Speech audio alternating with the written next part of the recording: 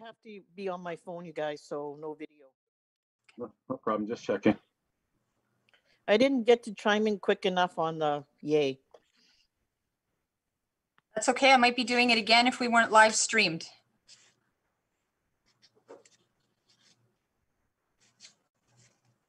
If you could just give me a minute to take my mute button off when you, when you vote, because I can't always get to it fast enough. We are live, No problem. Madam Mayor. We are live. Great. Thank you. We'll do this again. Welcome, everybody. Thank you for joining us for the regular planning meeting. I'm going to open up the meeting and read the resolution for the meeting to begin. Be it resolved that the meeting be called to order and that the agenda be, for the meeting be adopted as circulated. Can I have a mover, please? Moved by Counselor Link, seconded Counselor Bichetti. Any discussion? Hearing and seeing none, I'll call for the question. All those in favor? In favor? Opposed? And that is carried. Thank you. We have no addendums to the agenda for this evening. I will read the invocation. Please bow your heads. Please grant the Council of West St. Paul the wisdom and leadership in guiding our community for the future. We ask for support in fostering an environment that promotes understanding of good governance and respect on the issues we are undertaking in our roles as municipal leaders. Our goal is to grow and be successful as a community and individuals. Amen. All right, thank you. So we have two public hearings uh, for the meeting this evening. Before I begin, I just want to go around and introduce council members. We might have a few more viewers this evening um, with public hearings. Um, Ward one Councillor, Councillor Link. And we have Councillor for Ward two in attendance, Councillor Bichetti. Councillor for Ward three, Councillor Kleiber is joining us on the phone this evening. Hello. And we have Councillor Prague for Ward Four, our CAO, Mr. Olnick. And West St. Paul Administration is our Municipal Legislative Officer, Ms. Shaw, and we have David Patton, our planner from Red River Planning with us this evening. Thank you, Mr. Patton. All right, and sorry, the Executive Director of Red River Planning, Jennifer Ferguson, I see that you're with us as well. Thank you for joining us tonight. All right, before we begin the planning items for this evening, um, because there are some that may not participate and hear how our process goes, I'm going to read out an introduction to our public hearings. We are aware that most people who attend or view our council meetings for planning matters, like the ones here tonight, are not completely familiar with how the planning process works. I want to spend a few minutes providing some additional context so that we all have a better understanding of the process, the requirements around the around the Manitoba Planning Act and our local bylaws. Any person can apply for a variance, conditional use, rezoning, or subdivision as per the Manitoba Planning Act. By making the application with West St. Paul's Planning Authority, the Red River Planning District, this does not mean that council has endorsed the planning item. When an application is submitted, council is required to hear from the applicant and from those representatives who attend the public hearing to speak in favor, in opposition, or for more information. It is important to note that council is being presented with all the information at the same time as those in attendance here today. There are procedures council members must follow once an application is officially filed with the Red River Planning District and until such time as a decision is made. Council members cannot speak with the applicant or any other person who may be seeking information or who wants to speak in support or opposition to an open application.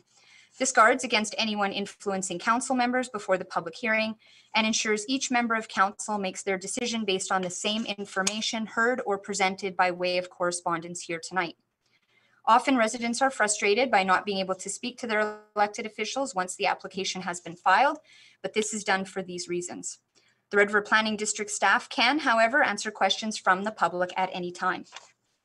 The Red River Planning District accept- accepts applications from residents and developers who want to build houses, sheds, swimming pools, garages, decks, etc., and from those who want to subdivide their lands from one lot splits to larger subdivisions. Red River Planning District staff are professional planners recognized by a professional association and are tasked with researching every application.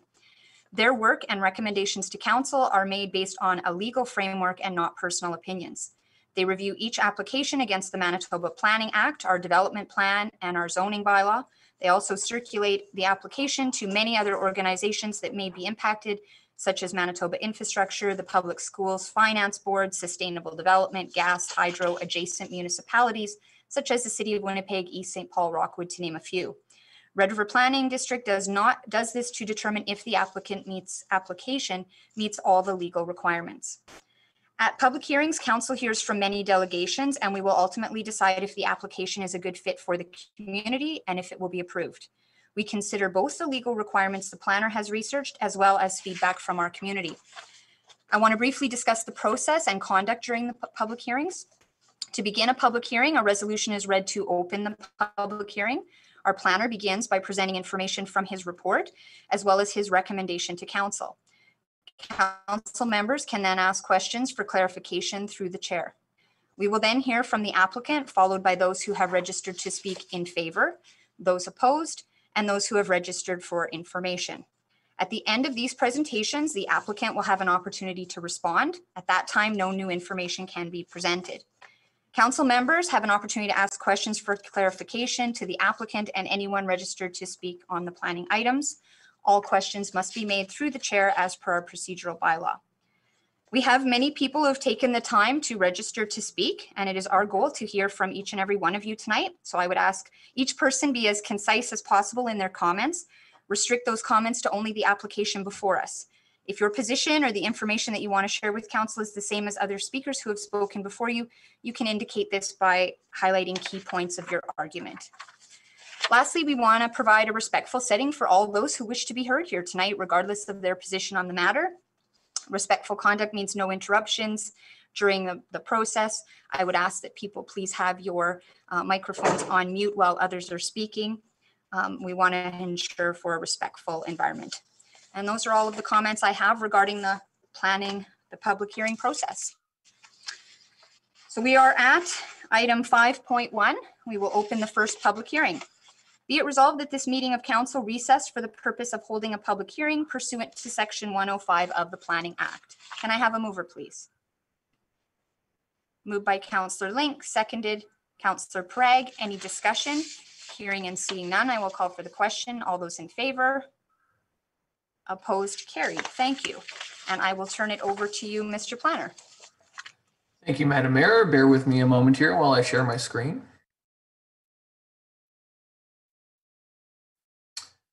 Thank you. So the first application before you tonight is conditional use number 44 of 2020.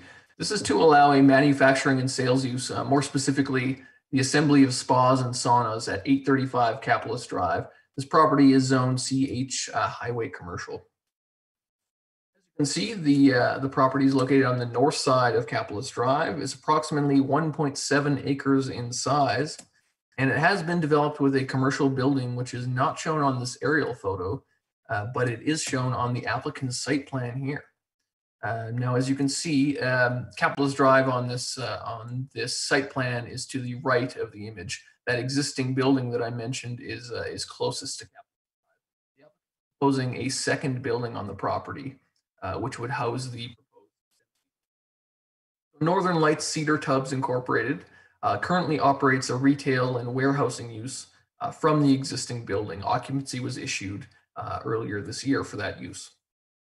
As I mentioned, they're proposing a second main building. This would be 4,350 square feet in size, uh, in which to assemble spas and saunas, as opposed to selling uh, flat uh, pack, do-it-yourself uh, unassembled kits to customers. Um, so the assembly um, use would consist of assembling these spas and saunas, uh, as opposed to again selling just the materials to the the customers. Uh, the proposed building complies with all the bulk regulations of the zoning bylaw, for example, setbacks uh, from property lines. Uh, but the manufacturing or assembly component of the use does require conditional use approval, and that is why the application is before council this evening. Uh, I do want to note that similar uses, for example, cabinet manufacturing, are permitted in the zone without conditional use approval. Um, so cabinet manufacturing is specifically listed as permitted in the zone. Uh, this type of assembly wouldn't uh, fall under that category, however, and so again, uh, conditional use would be required. Um, since the report was written, the applicant has submitted some additional information. Uh, the hours of operation for the assembly aspect of the business would be 8 a.m. to 4:30 p.m. Uh, the applicant expects uh, two to three additional employees will be added for the assembly aspect of the business. And no manufacturing equipment other than light tools such as electric drills uh, will be used in the assembly process. Just want to quickly go through the applicant's uh, building plans. Again, this is for the proposed building, which would house the assembly use. As you can see, uh, most of the floor area is dedicated to assembly. There's a parts storage area uh, proposed as well as an office. These are section uh, drawings of the proposed building as well. Uh, finally, from the applicant, we have the uh, photos that have been provided showing some of the assembly process. Again, um, that process would not involve any equipment other than light tools such as electric drills. Uh, and finally, these are some photos of the uh, the subject property showing that existing building. Uh, again, that's uh, uh, that houses the existing retail and warehousing use. So council can add any conditions of approval deemed necessary to ensure the use is compatible with the area and will not negatively uh, affect other properties in the area. So some other conditions that council has added to similar manufacturing type uses uh, uh, along Capitalist have been uh, restricted hours of operation uh, and a requirement that any assembly or manufacturing takes place within an enclosed building. And so that latter uh, example uh, has been included as a condition for council's consideration. Should council approve a conditional use order, the following conditions are recommended. First, that conditional use approval be limited to allow assembly of spas and saunas as proposed. Um, Second, that the applicant obtain all required permits. And third, that all manufacturing slash assembly associated with the business shall occur within an enclosed building. That is all I have for this application, uh, Madam Mayor, and of course, would welcome any questions. Thank you, Mr. Planner. I'll go around the virtual council table here and start with Counselor Link. Any questions for the planner? Hi, hi, Mr. Planner. Actually, I emailed Mr. Planner my questions ahead of time, uh, but I will share with council the main question. The others were all related to the main question. Uh, I was wondering why this building was considered a second main building rather than an accessory building as per table one.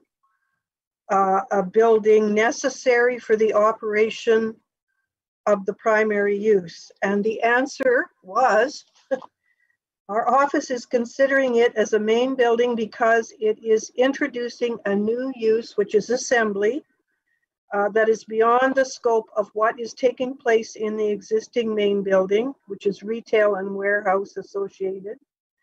Uh, The proposed assembly use is beyond the scope of what is typically considered an accessory use. So I'm satisfied with that answer and I have no other questions. Thank you very much, Mr. Pat. Thank you, Counselor Link, for sharing that with us. Counselor Bichetti, any questions for the planner? Yes, uh, you're saying that this, they have an uh, occupancy permit already? They do. So, um, the C cans, well, you can see them in the upper picture there. Those aren't allowed. So how is it, you know, is it, uh, are those temporary? Was it just to move stuff in? Just wondering that kind of stuff? That would be a question for the applicant. Um, you were correct in thinking that if they are permanently located there, um, they would require um, conditional use approval from council as well. So there's nothing for exterior storage on this application that I've seen. So is there? Just for No, this application uh, would not encompass uh, containers or any type of exterior storage. This is uh, solely uh, to allow the assembly uh, process as described in, the- in the new building. Thank you. Thank you, Counselor. Counselor Kleiber, any questions for Mr. Patton?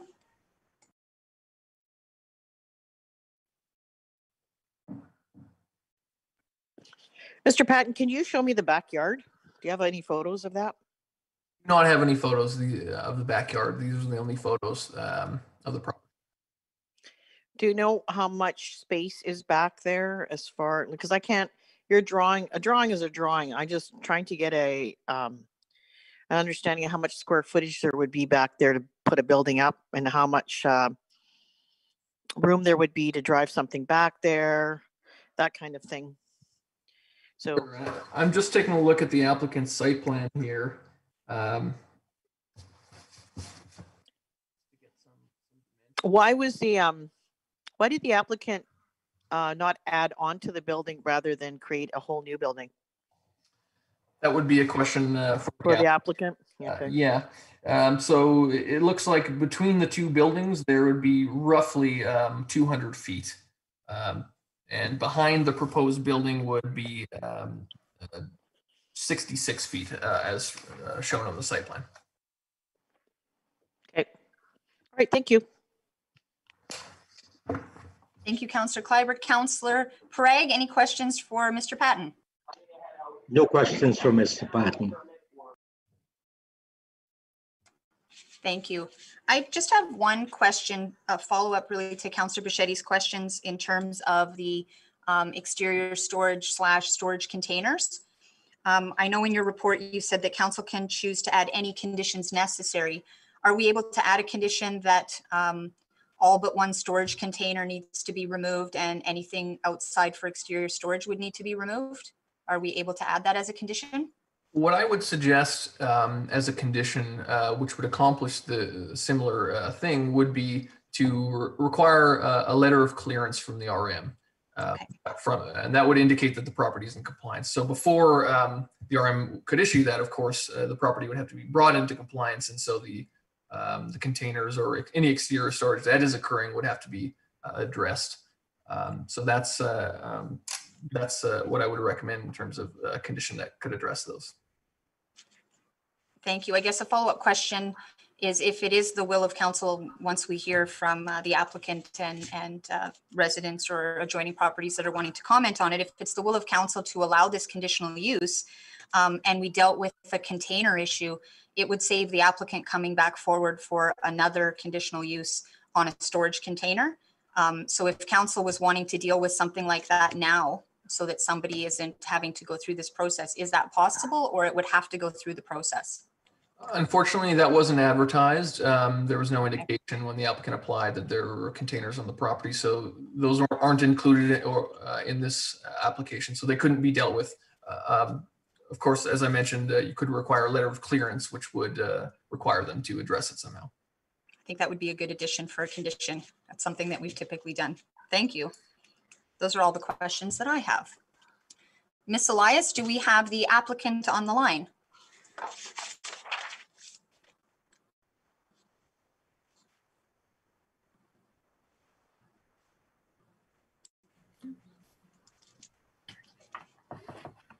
Uh, Yes, Madam Mayor, I believe we have Dan Jung available with us.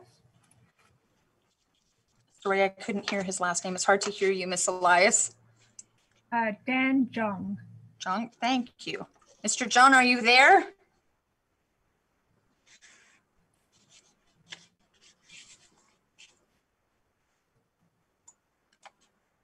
Mr. Jung, are you there?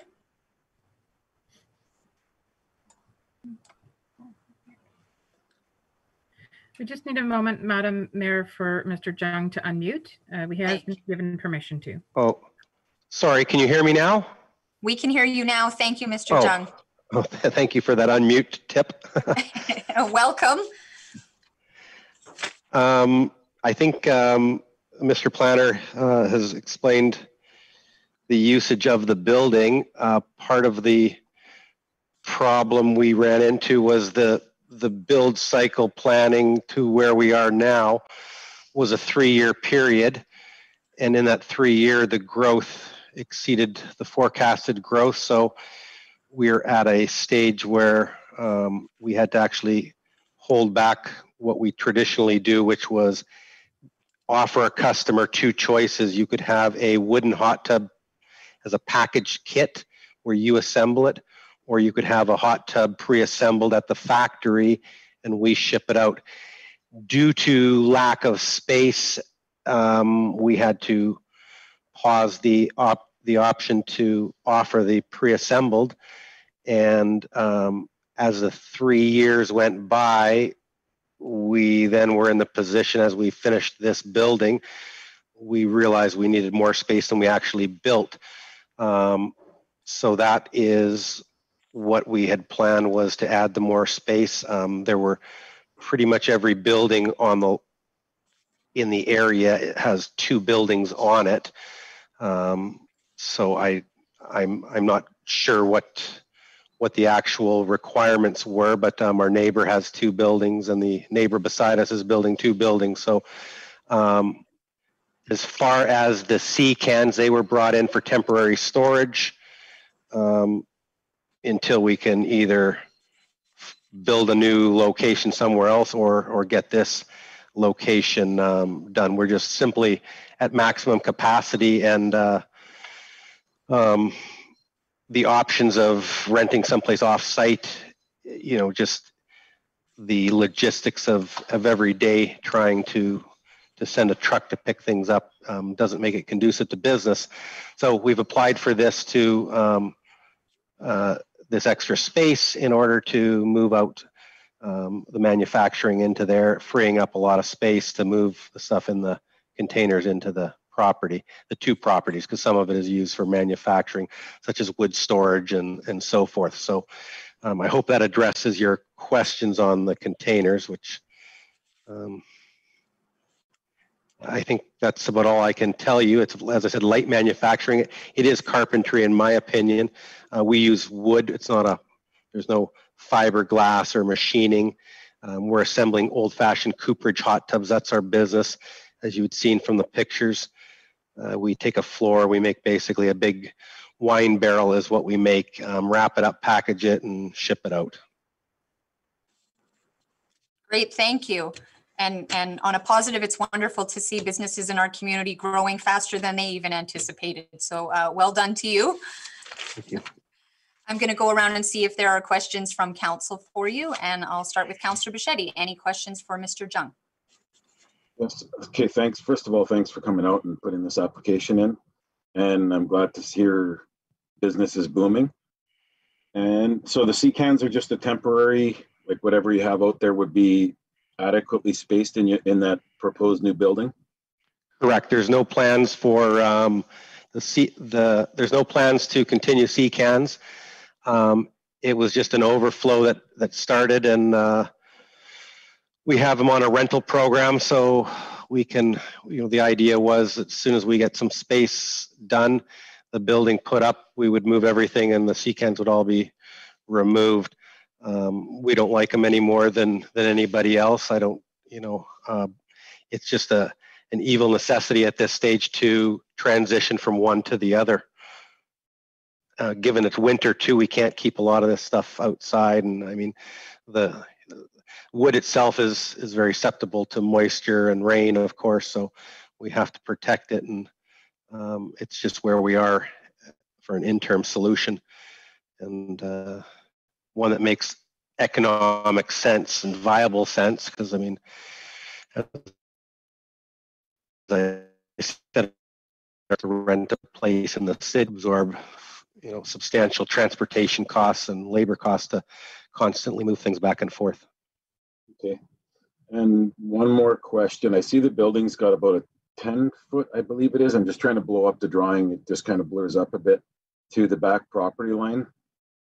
And I'm just wondering, since you have all that other space in between the two buildings, would you be willing to move that towards the, the, I guess, building number one, I'll call it, just to eliminate if there is any noise, because there is eventually proposed residential happening to the other side of that fence, so. Yeah, I think um, there's two two fences. The property line has a fairly big buffer. I can't see it either. It's about a 40 foot buffer, and then there's a small, maybe 10 foot to the fence. But the property line actually extends back the 40 foot where there is the fence line that extends that entire uh, uh, development. So you're you're at 50 feet back to that fence line. Actually, if you look at the plans, the other issue we have is um, if you are looking at the at the plan off of the main building, you'll see that that sort of rectangle coming out is a loading dock. Um, there's two loading docks for semis, so the the radius of the semi they come in to the the uh, I guess uh, north to the east is a driveway in, and they have to be able to make a uh, roundabout turn. We also have our staff parking along along that area. So uh, we do, you know, we have upwards of uh, 20 staff, you know, so there's, there's vehicles there. But the main concern is these double semis having access to do a, a circle. And when the original plan was done, you know, it was based on how the a semi, you know, the space a semi needs. So there's not much space left there. The, um, there were, there is an existing fence line. I think you can see it. It's sort of the gray line. And that's really, the semis go right up to that gray line to do their turn. So, um, you know, with the 50 foot buffer to that, to the fence, um, moving, you know, the designers of, of this had to consider that we have, we have to have that semi radius turn in here. So, um, well, you know, while I'm open to suggestions, this was sort of designed as the best case solution to our problem. Hey, thanks for that. I, ju- I thought that was the, I thought the red line on the drawing was that um, wooden fence. So you're saying there's another 40 feet past your 10 foot boundary line, whatever you want to call it, behind the building. Correct. And that's been fenced off, so there's no, um, no, you know, no more access to it in terms of, uh, no parking allowed there, no, you know, uh, no storage, no nothing. So, um, that red, ex- the, the red, uh, shows the proposed extension to the fence. The gray line is the existing fence. Okay. Wait. Oh, Go ahead, sorry. Yeah, so I think we've put it in as close to, you know, tried to fit it in um, to all the requirements, also bearing in mind the fire ratings and all that that we have to comply with. So uh, um, uh, that was the best case scenario is where it is. Okay, and just, I guess, one more thing. So you said the sea cans are going, and I guess all the, the pallets and all that kind of stuff that are, I guess, out there as storage right now because it's lack of space, I guess, so it's just being put out there or? Correct. We've, we've put a concrete um, uh, pad. The sea cans will be gone. The pallets that are, are used in the, in the shipping operation, they'll go um, up against, there's a spot for them right now. So they won't be visible by any means from the, the front side or back. I mean, I guess the, the side they would, the west or, you know, the east side, but you'd have to be driving in through. So they're all in the back. And that's part of the, you know, they're neatly placed. We have four different sizes of tubs, four different sizes of pallets. So I understand that, but that's the exterior storage part of this. Like, that's where we were, we- someone was asking about exterior storage, but that, that's where the applicant, the application doesn't have anything for exterior storage, and that's considered exterior storage. Okay, I understand that now where you're coming from, Counselor. Um, that should have been in the initial, uh, application because that it was certainly part of our, our manufacturing process is, is having pallets to, uh, load things on, so. I didn't, uh, the developer itself did the application. I'm, I'm not too familiar with all the, the processes. Well, I'm sure the planner can bring you up to speed after this, because it's not on this application, so I won't go any farther with that. Thank you. Councillor you. Bichetti. Councillor Kleiber, do you have any questions for Mr. Jung?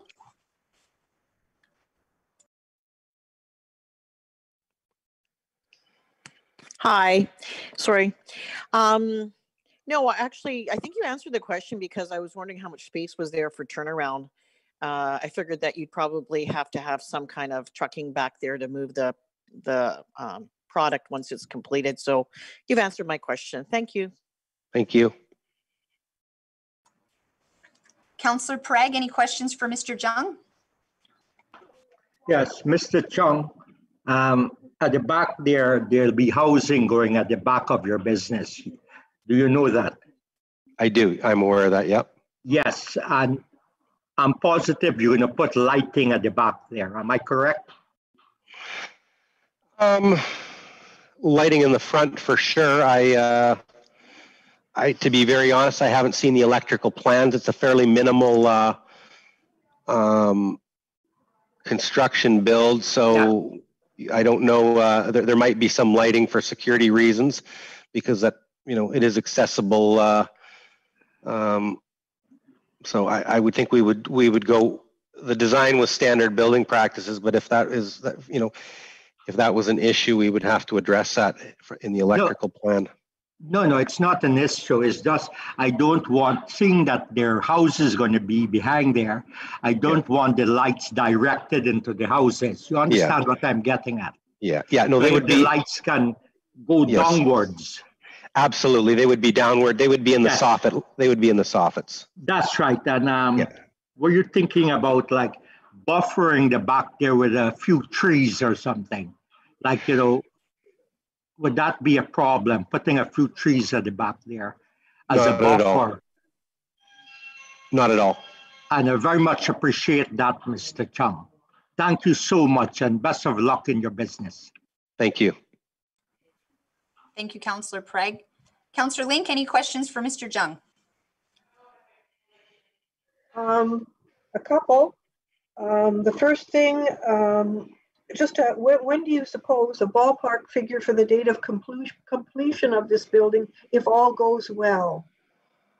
Um, end of spring. Okay, so that's great. Um, the reason I asked that question is because of the the CCANs, because we've been asking, we've been allowing a year for people to comply. Um, the second thing was the the um, you're you're the tenant, and the owner would have a DA. I, I think the owner has a DA on the property. Am I, am I correct? You wouldn't? I, I, am the, I am the owner and the You are the owner. So Yes, you've got a development agreement, Yes, and I'm sure the development agreement contains landscaping uh, requirements. yes, correct. Were, were, was some buffering behind the, tr- the building, as Councillor Pereg suggested, a part of that landscape plan? I don't believe it is, but um, if you, the, the the landscaping was the front, which in the pictures, if you had seen the pictures, we've, Yeah. um, we did, a- I think, a very good job in landscaping. Um, Yes? A lot, there is no, I don't know what the uh, master plan is for that, the buffer space. I have yet to see anybody um, do any form of landscaping back there, but we are certainly, you know, open to comply with any, any suggestions you have. Um, We, I think that would make us the first person to landscape behind the, uh, between the fence and the buffer zone. Well, I think it would be a wonderful thing to do. Yep. All right, no more It- questions. It's, yeah, it's just, the fence is fairly high. It it sits on a berm plus a fence. And then the fact the building is, is that, you know, there would be, um, there's very, very little people that would see the landscaping. I agree forestry is beautiful, um, versus the, you know, the brush that is there. But, um, I, I do not have an answer to what is the requirements there, but we're open to, you know, obviously follow the bylaws, the planning. Okay, Uh, and, and of course, you're complying with your DA. Yes. Okay, thank you. Thank you. Councillor Bichetti, you had your hand up again. Go ahead. Thanks, sorry, I just missed one of my notes here. On, I, I'm getting back to that ten feet on the back there. The, the gray area on the map is pretty well a, a berm with the fence area. I'm just having a problem with that ten feet around the building. Like, there's, there's no way you could kick that building ahead another ten feet just to, like, the homes are gonna have what, at least a twenty-five foot setback. It's, it's, these back buildings is my biggest issue that you know, when this area was up, I don't think it was initially even thought of by council that there would be more buildings back there. But it's, it is a manufacturing level. Business does increase. You might start doing more stuff to it just to be on the safe side. I, I'm, would like to see it, you know, I'm not asking to pull it way ahead, even a little more room to ju- just to make that buffer a little better. That's just my biggest concern. I think if it boiled down to it, yes, we would certainly, uh, you know, if that was the requirement for this to to happen, um, we would do that. I would like to make note, though, um, and you, you know, unfortunately, there's no aerial view of this. The neighboring business, which is an automotive repair shop, um, extends substantially uh, further back than ours, and it's a, a much higher building. So it's a two-story building.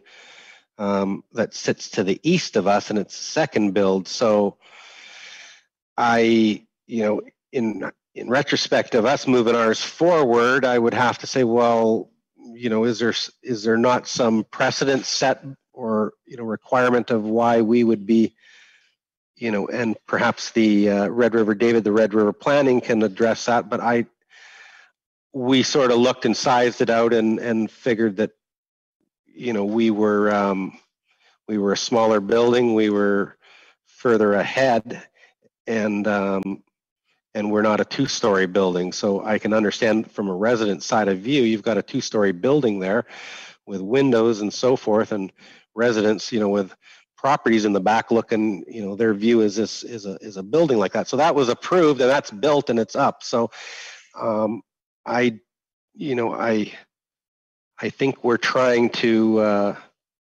um, to do do one step better there. But where it is is yeah. I mean, you know, if you tell me, counselor, move it ten feet up, we're going to move it ten feet up. We, we really we need this building, so I'm going to comply with whatever ordinance you you give me to make this happen. But um, you know, the 50 foot plus, it's that that gray is not a berm. That gray is flat. And then at the end of the property line, it goes up onto a very large berm. And on top of that is probably an eight foot tall fence. Uh, you know, so the total I'm going to say is getting, you know, we're eight, it's 12 to 15 feet high at the top of the fence ba- uh, versus a ground level. Um, so the whole the whole development was built with that berm in mind to, you know, for privacy to the to the tenants. Um, and No, I I understand what you're saying. It, it just, you're right. If we would have had a, a newer aerial on this showing what, it, it's, I'm trying to make sense of it of a bunch of lines in different colors. So yeah, I, I understand what you're saying. Thanks for Yep. the, your answer. okay, thank you. Thank you. Counselor Link, you've got your hand up. Go ahead. Mute. To, to this same topic, I think the planner could confirm that this building has a rear yard setback that is in compliance with the zoning. Um, I think he's compliant. The, the, the police, the planner could perhaps confirm that. Mr. Planner.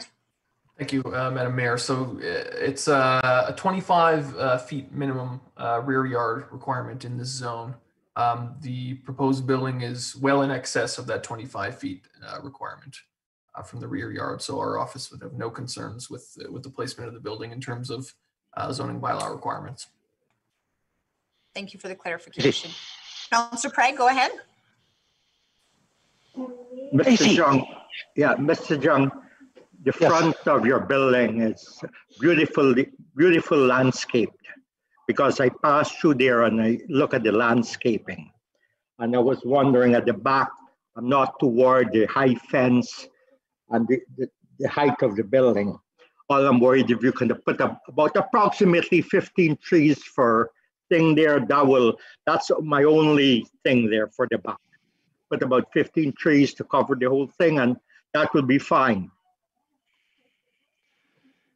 Um, yeah, I, again, I am, uh, I'm open to whatever suggestions you Yeah, are. I no, believe, I'm- I- I I believe, I, to, I, I think we've, yes, as you, as you've stated, you know, we, we did spend a lot of extra over and above what we had to do in the front. Um, it was part of, you know, the image we wanted to, to give.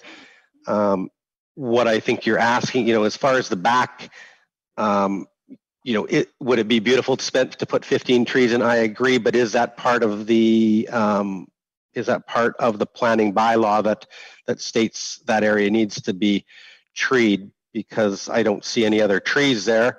Um, and, uh, you know, would I like a nice forest in the back? I think that would be beautiful.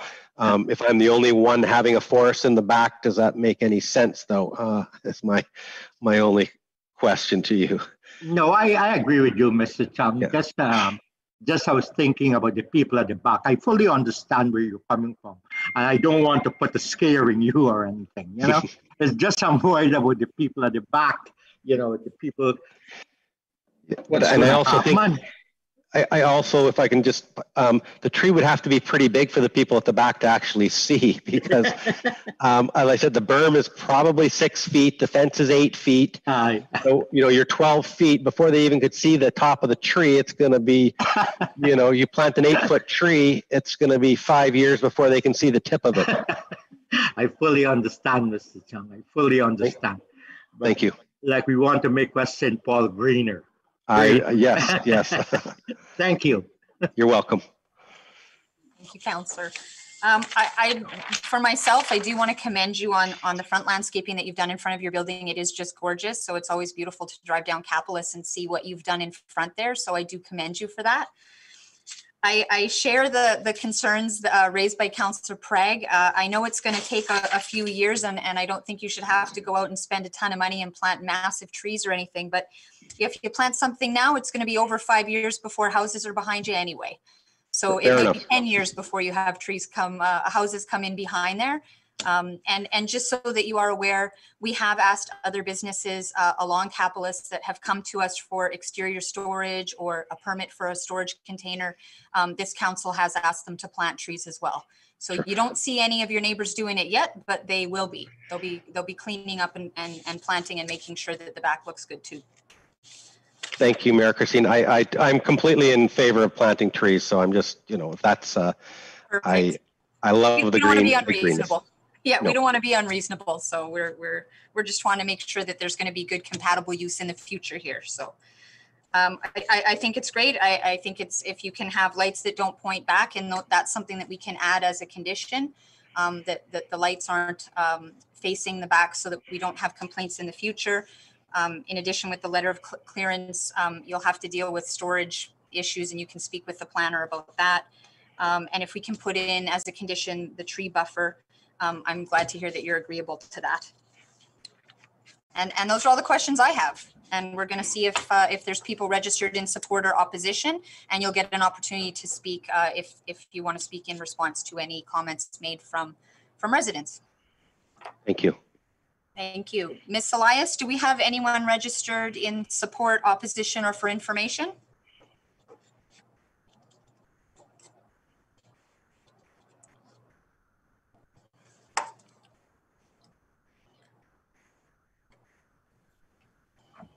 Uh, yes, Madam Mayor, we have Jeff Haverluck in favor, as well as David Dick. And we have Ben McGilvery registered for information. Um, and I could add, just in regards to uh, buffer trees at the back, our, our general standard would be that there would be uh, a minimum of one tree for every 15 feet.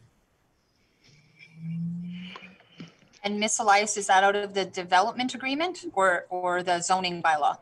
That's out of the development agreement. Okay. One tree for every 15 feet? Correct. Okay. Thank you for the clarification. And no one is wishing to speak on the item then, Ms. Elias? No one else, no. Okay. Mr. Jung, is there anything else that you're wanting to add?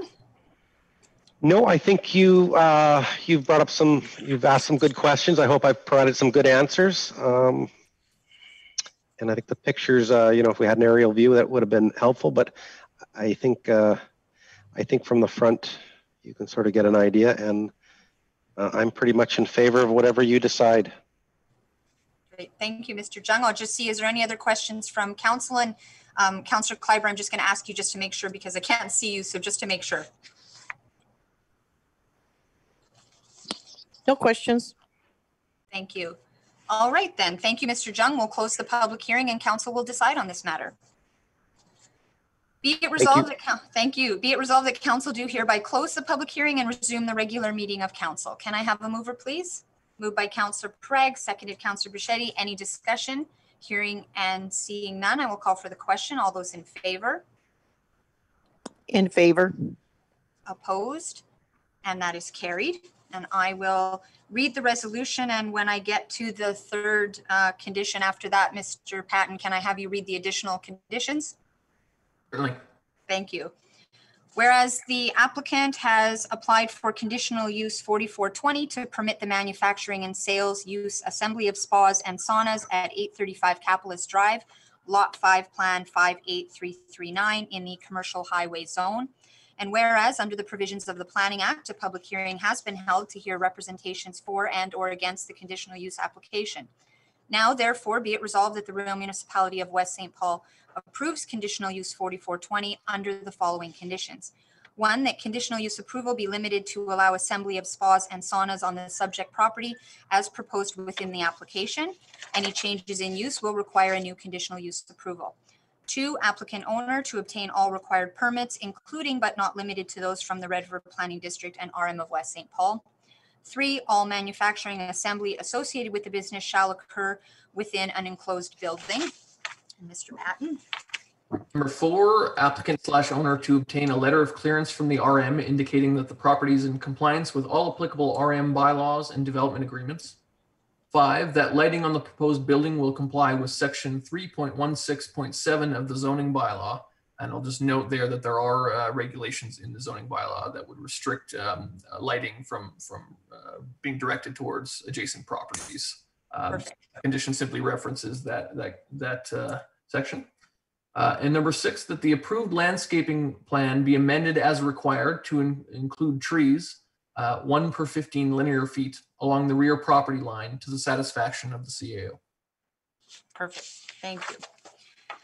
The approval of a conditional use will expire and cease to have any effect if it is not acted upon within 12 months of the date of the decision. A board, council, or planning commission may extend the deadline under subsection 1 for an additional period not longer than 12 months if an application is received before the additional deadline.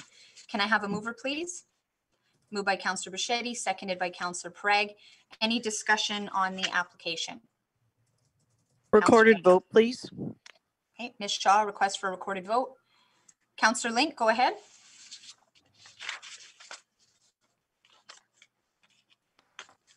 Oh, you're still on mute.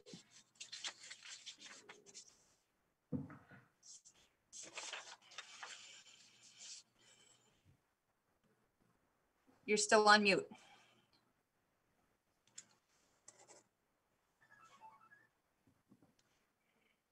My clicker wasn't clicking. We got you now. Okay. Um, Even though current approvals uh, for the business do not allow for exterior storage on the property, uh, could we put in a condition that once the built, the second building is completed, that there be no exterior storage permitted? Can we add that? I think the planner had talked to us that he's got to come back for a, a conditional use for the exterior storage. Oh, all right. Yeah. That's Um, fine Am then. I getting that right, Mr. Patton? We can't be adding the conditions about the storage container or the exterior storage. That's got to be a separate application. Yes, I, I would say those would be best addressed through the letter of clearance condition, um, referencing uh, uh, that the exterior storage is, is a certain Go. date would be contradictory come back. bylaws that exist right now, which Huh? doesn't allow exterior storage without conditional approval. So Okay. Thank you. Thank you, Counselor Link. Any other comments for discussion? Hearing and seeing none then, I will call for the question. All those in favor, In favor. opposed, and that is carried. That has passed, Mr. Jung. Thank you for joining us and uh, congratulations on your successful business. We're excited to see growing businesses in West St. Paul. So keep up the great work.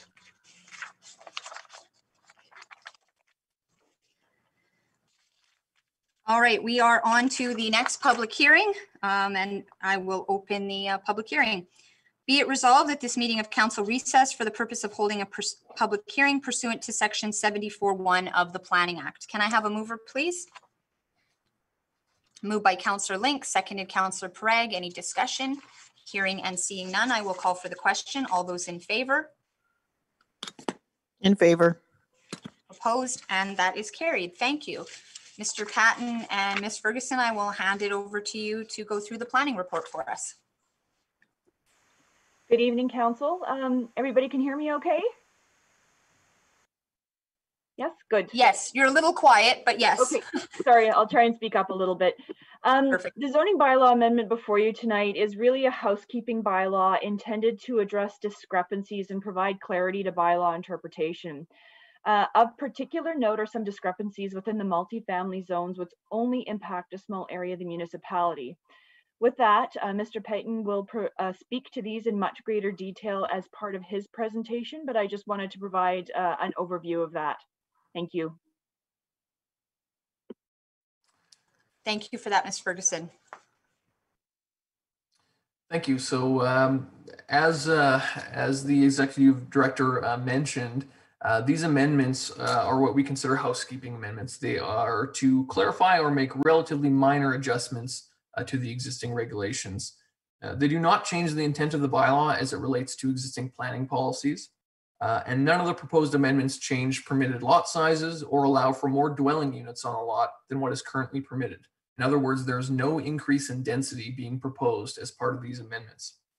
Um, There is one amendment that changes a yard requirement or proposes to change a yard requirement uh, in one zone. Uh, But otherwise, the permitted massing in terms of site coverage or height will not change.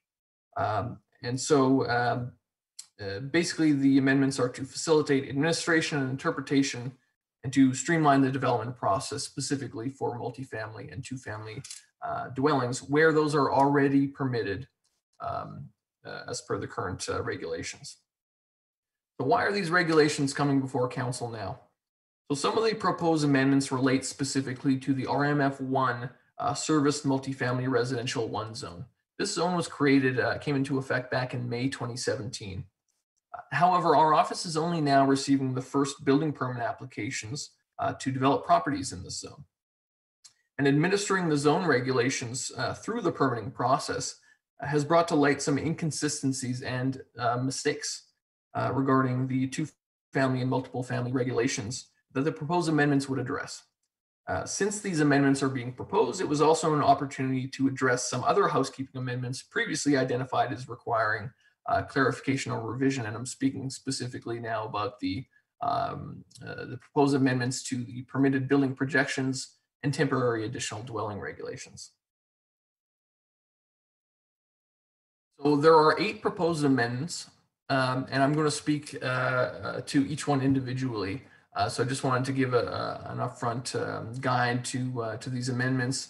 Uh, and these numbers before you here correspond to the uh, the numbers of the amendments in the actual amending bylaws proposed. So uh, if anyone's following along with the amending bylaw, the numbers correspond. So the first uh, amendment has to do with parking space table. Amendments two through five um, deal with permitted building projections and the section of the zoning bylaw that that outlines those regulations.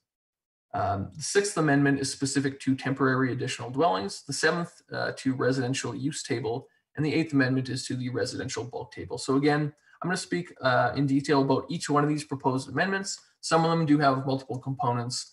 Um, so uh, again, we'll we'll look at those uh, as we discuss the individual amendments.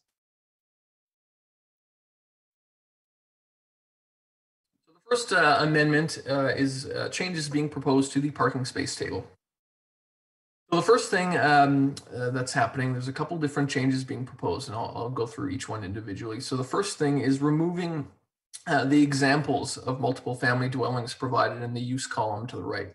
Just say that um, the top table uh, that says existing is the are, the existing uh, regulations uh, in the current bylaw. Uh, the proposed table beneath it is that same section of the bylaw, but with the proposed amendments incorporated. Um, so the first thing you'll notice is that the examples uh, have been removed in the proposed um, proposed use column. The reason for that is twofold. First, uh, it's redundant. Multiple family dwellings are already defined in, in the definition section of the zoning bylaw. Uh, the second reason is that one of the examples given, a duplex, is actually uh, not a multiple family dwelling. By definition, it's a two family dwelling. Uh, and so this is a, a clear mistake uh, that, uh, that should be rectified in order to prevent any confusion about uh, what these um, uh, requirements apply to. The other changes that are being proposed have to do with the right-hand uh, column. So there's three uh, main things uh, in this rewording that are that are being accomplished. So the first is to stipulate that guest parking is only required where there is a common parking area. The regulation is currently written. It's unclear how um, guest parking uh, would be provided for example, multiple family dwellings with individual driveways. So if you have one, uh, one dwelling unit uh, with an individual driveway, um, and that dwelling provides two spaces, for example, um, so it meets the minimum requirement. How do you provide 10% of that number uh, as, as guest parking spaces? Um, so clearly this uh, guest parking provision was intended to be uh, applied to uh, multi multifamily dwellings with common parking areas. So that's the first uh, clarification. The second is to remove the requirement for guest parking to be located at the building entrance. Uh, the reason for this is simply that um, it's difficult to uh, to enforce um, in terms of how close is close enough to the uh, building entrance to um, to determine that this is in compliance. Um, it also starts to dictate uh, the design uh, of the site in terms of where parking can be located. So it might restrict um, a designer um, who would like to place parking, for example, in the rear yard. So in consultation with the RM, uh, it was deemed that this, uh, this uh, requirement for guest parking to be located at the building entrance be removed. Uh, the third um, change to that column would be to clarify that uh, required guest parking is to be taken from the required parking calculation of 1.8 spaces per dwelling unit, not in addition to. So the wording right now is, is not entirely clear whether that's supposed to be, uh, the guest parking is supposed to be in addition to the 1.8 uh, spaces required per dwelling unit or taken from that. Um, in reviewing the original amending bylaw that, uh, that proposed this regulation, it was clear that that was to be taken from uh, the 1.8 spaces from dwelling uh, per dwelling unit. And so uh, the rewording of that would just make that clear that it's it's uh, it's taken from and not in addition to the 1. Point space uh, 1.8 spaces that are required per per unit. So that's the first amendment to the parking space table. And I just wanted to show this map because um, multiple family dwellings, the amendments would apply, of course, only to zones that permit multi-family dwellings. Um, there are three different zones in the RM that would permit uh, multiple family dwellings, the R3, the RMF1, and the RMF2 zone. Um, the map before you now shows every location in the RM where these zones are in effect. So the regulations, the changes to multi-family regulations would only directly impact the properties that you see highlighted on the map before you now. Um, of course, this is a in itself is a small corner of the RM, um, there are no multiple family dwelling zones anywhere else uh, in the RM. Again, it's just um, uh, the, the zones that you see before you on the map uh, here.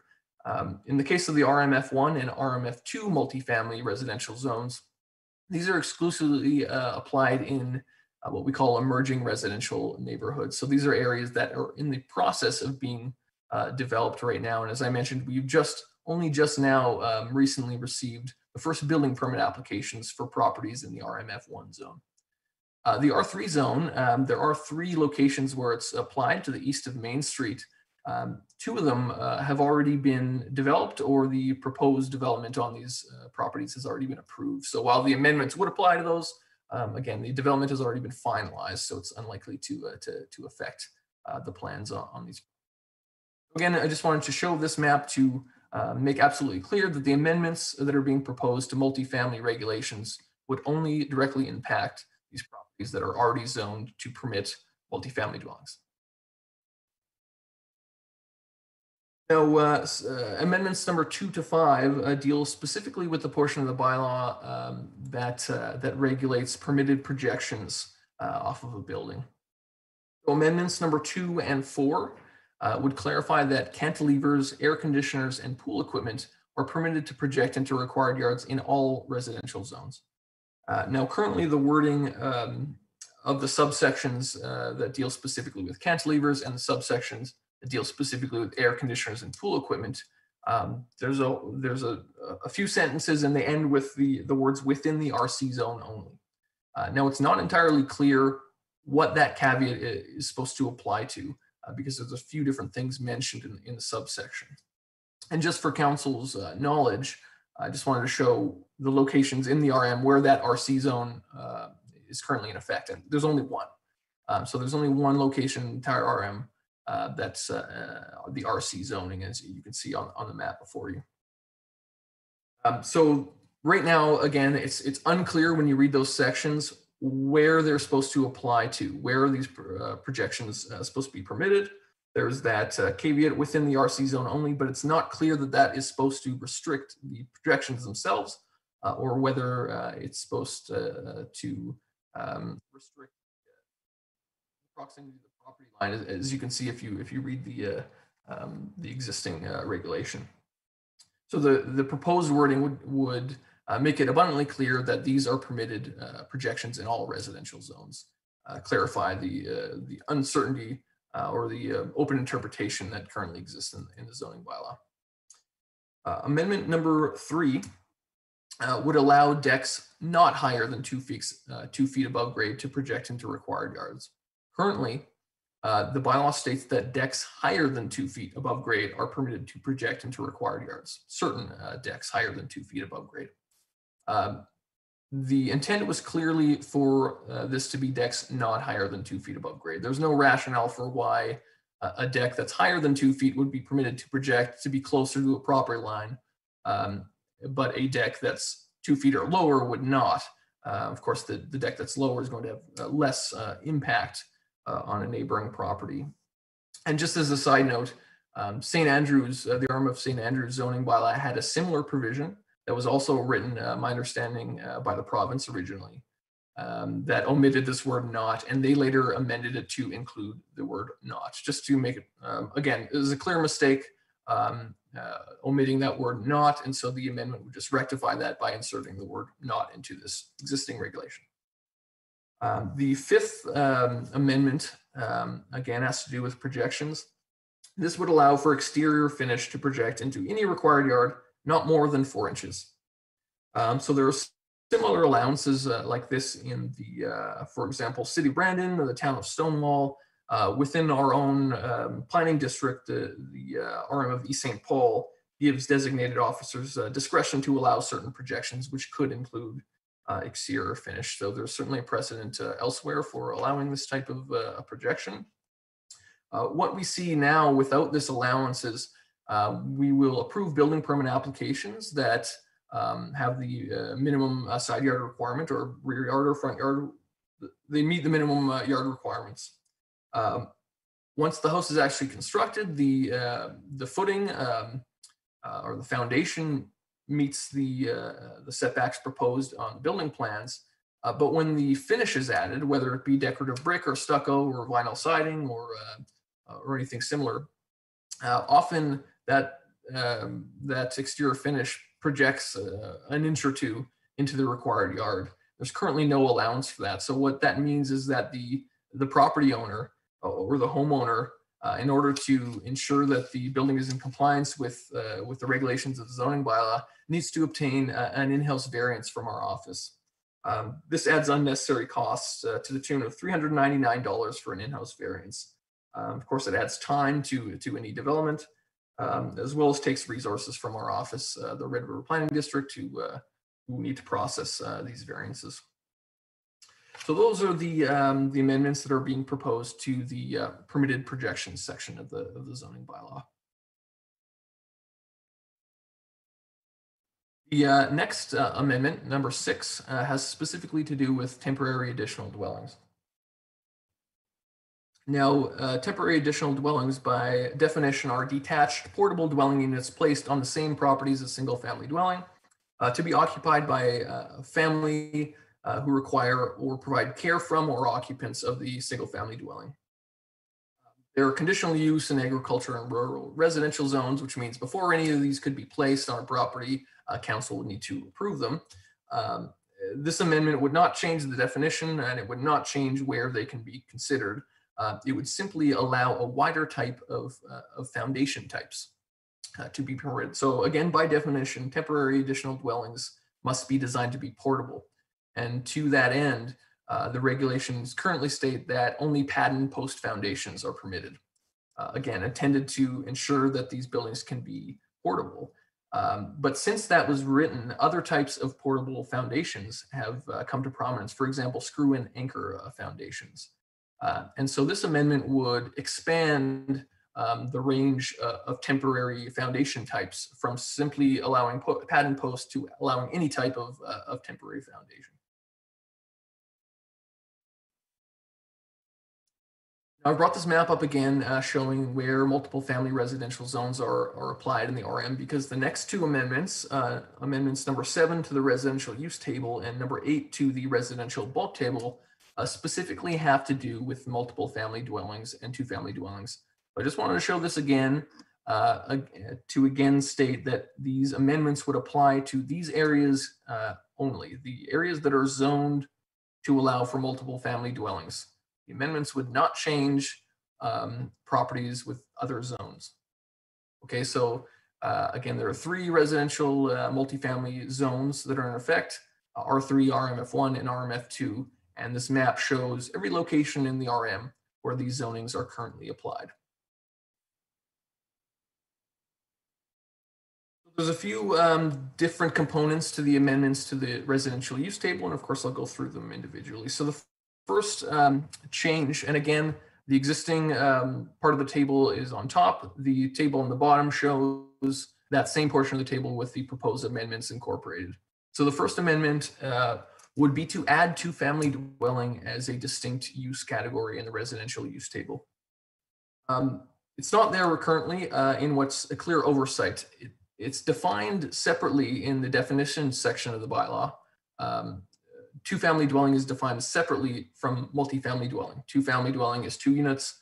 Uh, multifamily dwelling is three or more units. Um, and so when these were added, uh, when the zones were added uh, that would allow these types of uses, a two-family dwelling should have been added uh, as well as a distinct use category. It was not. Um, that despite some of the zone descriptions in the zoning bylaw clearly stating that two-family dwellings or types of two-family dwellings are appropriate uh, uses in, in those multifamily zones. Um, so this amendment would add two-family dwelling to the table uh, only in zones where multifamily dwellings are already permitted. So again, no increase in density, no increase in the amount of units that's permitted on a lot. Uh, and it would, uh, in doing so, would uh, would ensure that um, that the use table is consistent with those zone descriptions I mentioned earlier. Um, that again explicitly talk about types of two-family dwellings being permitted. So again, a clear um, omission, uh, which uh, which this amendment would correct.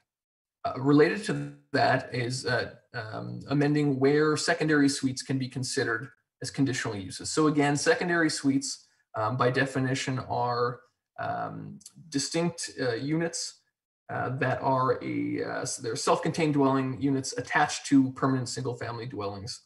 Um, in other words, they're two-family dwellings. They create two-family dwellings.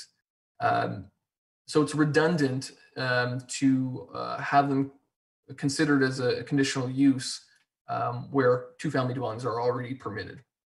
And I should say there, there is a difference between secondary suites and two-family dwellings, uh, that being that there are restrictions on secondary suites in terms of size, uh, et cetera.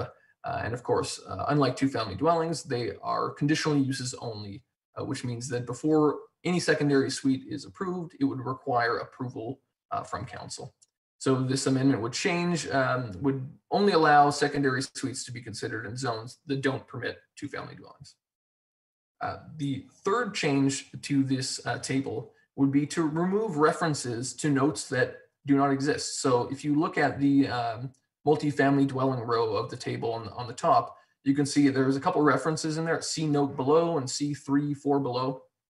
When these amendments, when these wordings were um, were being proposed to the bylaw. Somewhere along the amending process, um, the notes that these reference were removed from the from the bylaw. They didn't make it into the final bylaw, but the references to them uh, remained. So uh, as you can imagine, that creates some confusion if you're trying to uh, administer the bylaw uh, or just understand the regulations that are applying, and you're looking to find these notes that that don't exist. Um, so that's the third item for the uh, residential use table amendments would be to remove those references to notes uh, that uh, that do not exist in the bylaw.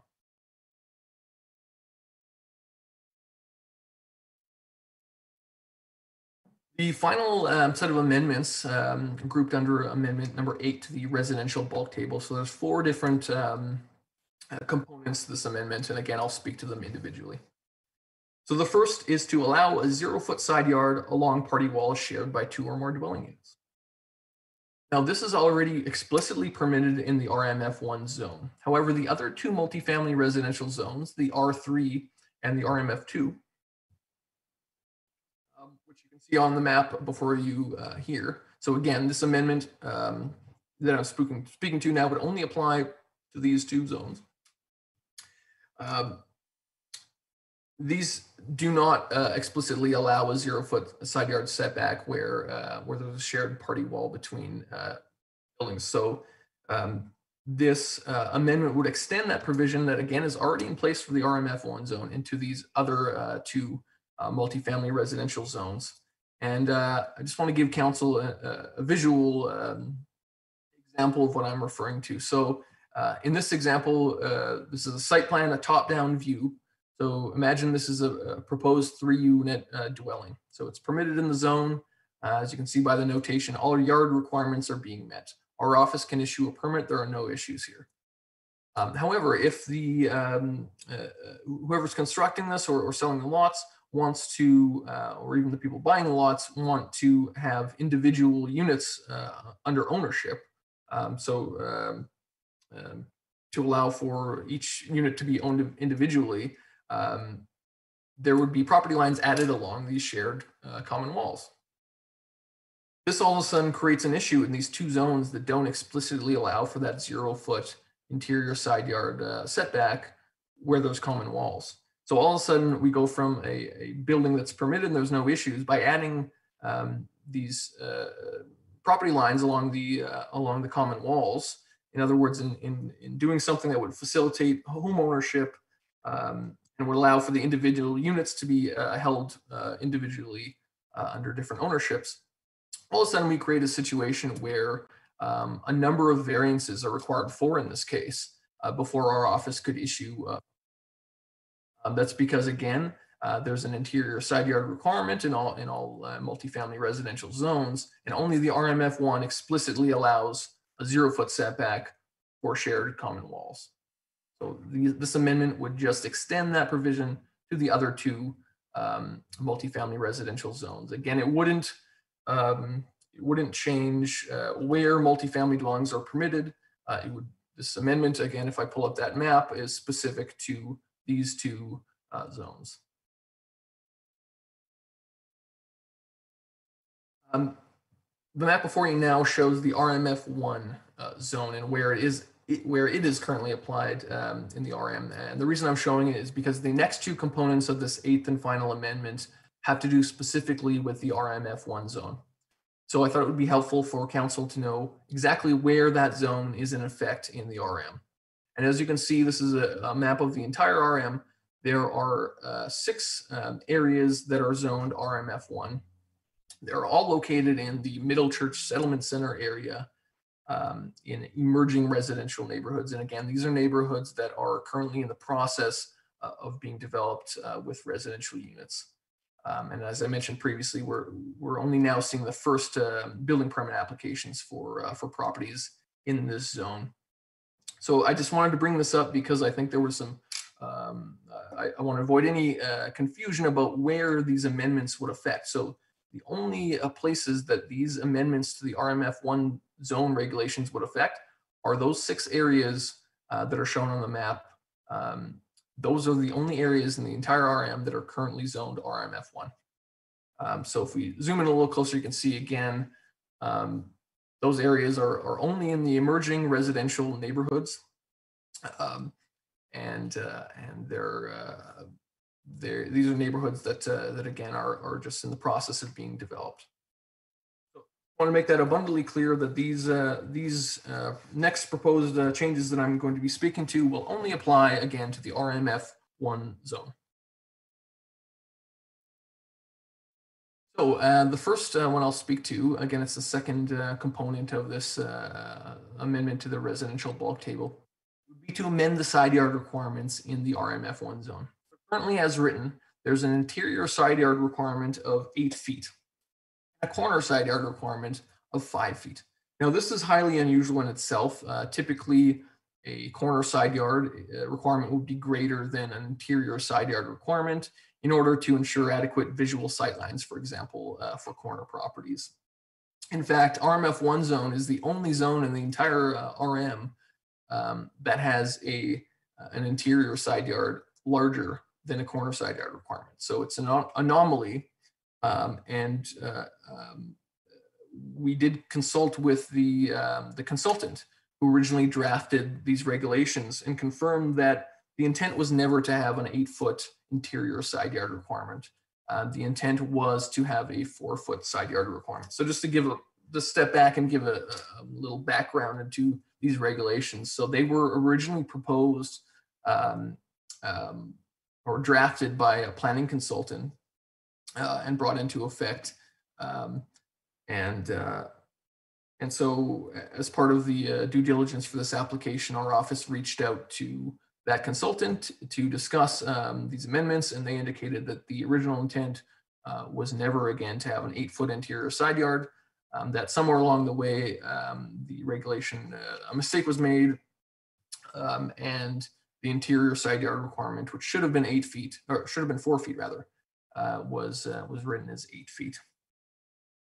And so um, the proposed amendments here would reduce that interior side yard requirement down from eight feet to four feet. Again, these only apply in that RMF1 zone um, that I showed the map uh, of earlier. Uh, and it would increase the corner side yards uh, from five feet to uh, eight feet. Uh, now, there are a couple aspects of the RMF1 zone that I want to point out, um, which could explain um, why it's reasonable to consider uh, um, an interior side yard of, of, four feet in a multifamily residential zone.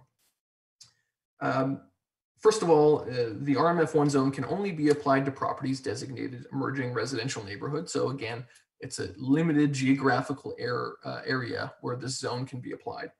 The second is the maximum height in the zone is 35 feet. Now that's the same maximum height as applied to uh, the residential zones that only permit single family dwellings. So in, in, the, in terms of bulk regulations, in terms of height, um, this zone uh, has more in common with the single family dwelling zones than say the other two RMF2 uh, and uh, R3 multifamily uh, zones.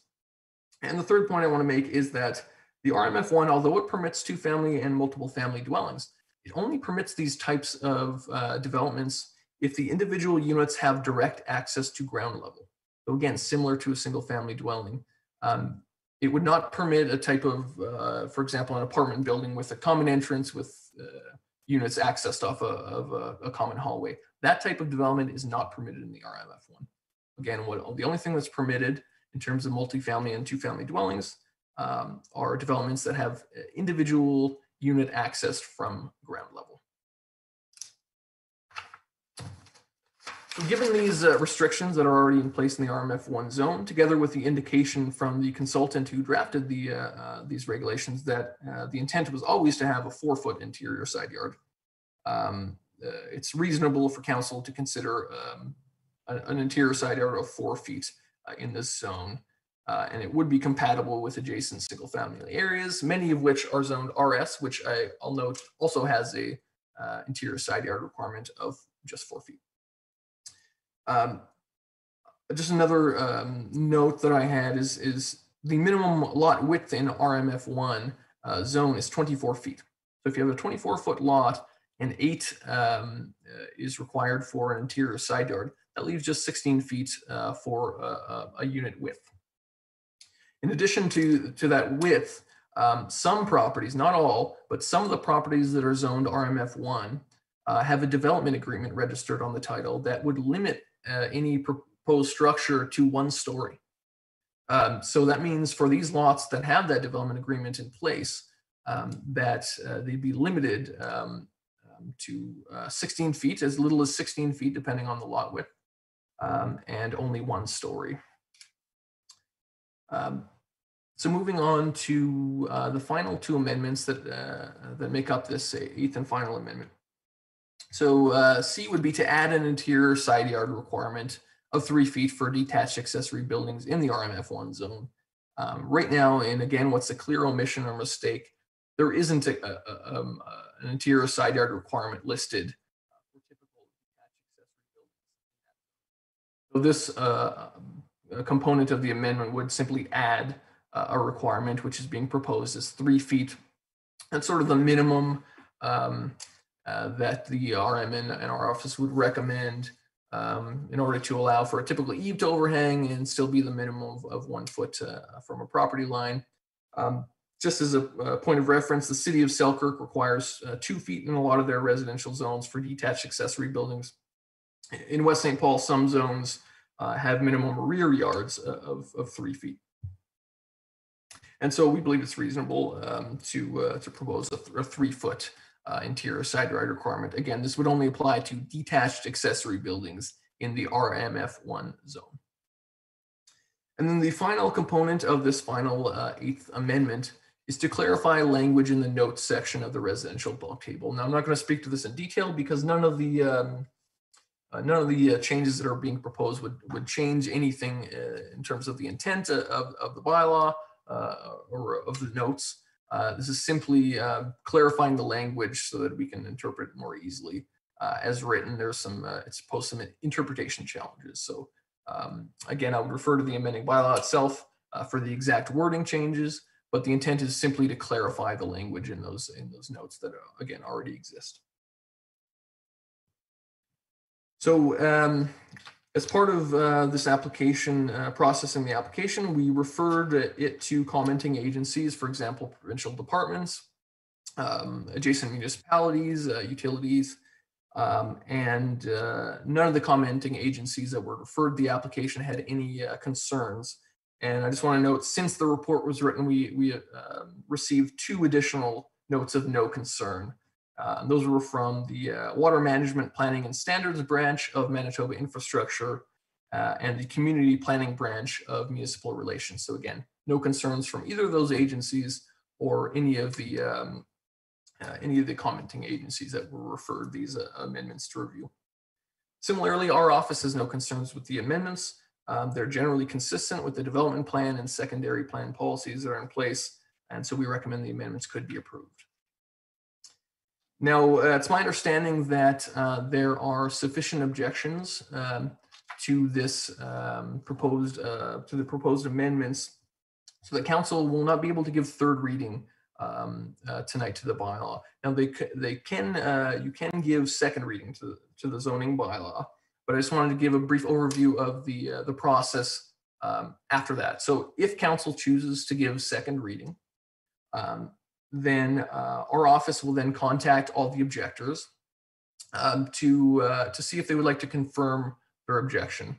Um, so everyone who is uh, who is registered in opposition um, will be contacted uh, and asked to confirm their objections. If at least 25 eligible objectors uh, confirm their objections, then an appeal hearing is scheduled with the Red River Planning District Board. Um, the board will hear the matter, and after the hearing, um, the board must either confirm the objections, which means that third reading cannot proceed, or that it can only proceed with any changes specified by the board. Or the board can confirm the bylaw uh, in which third reading uh, can proceed. So that's just a general overview of the process uh, moving forward should council choose to give second reading to the uh, proposed amendments uh, this evening.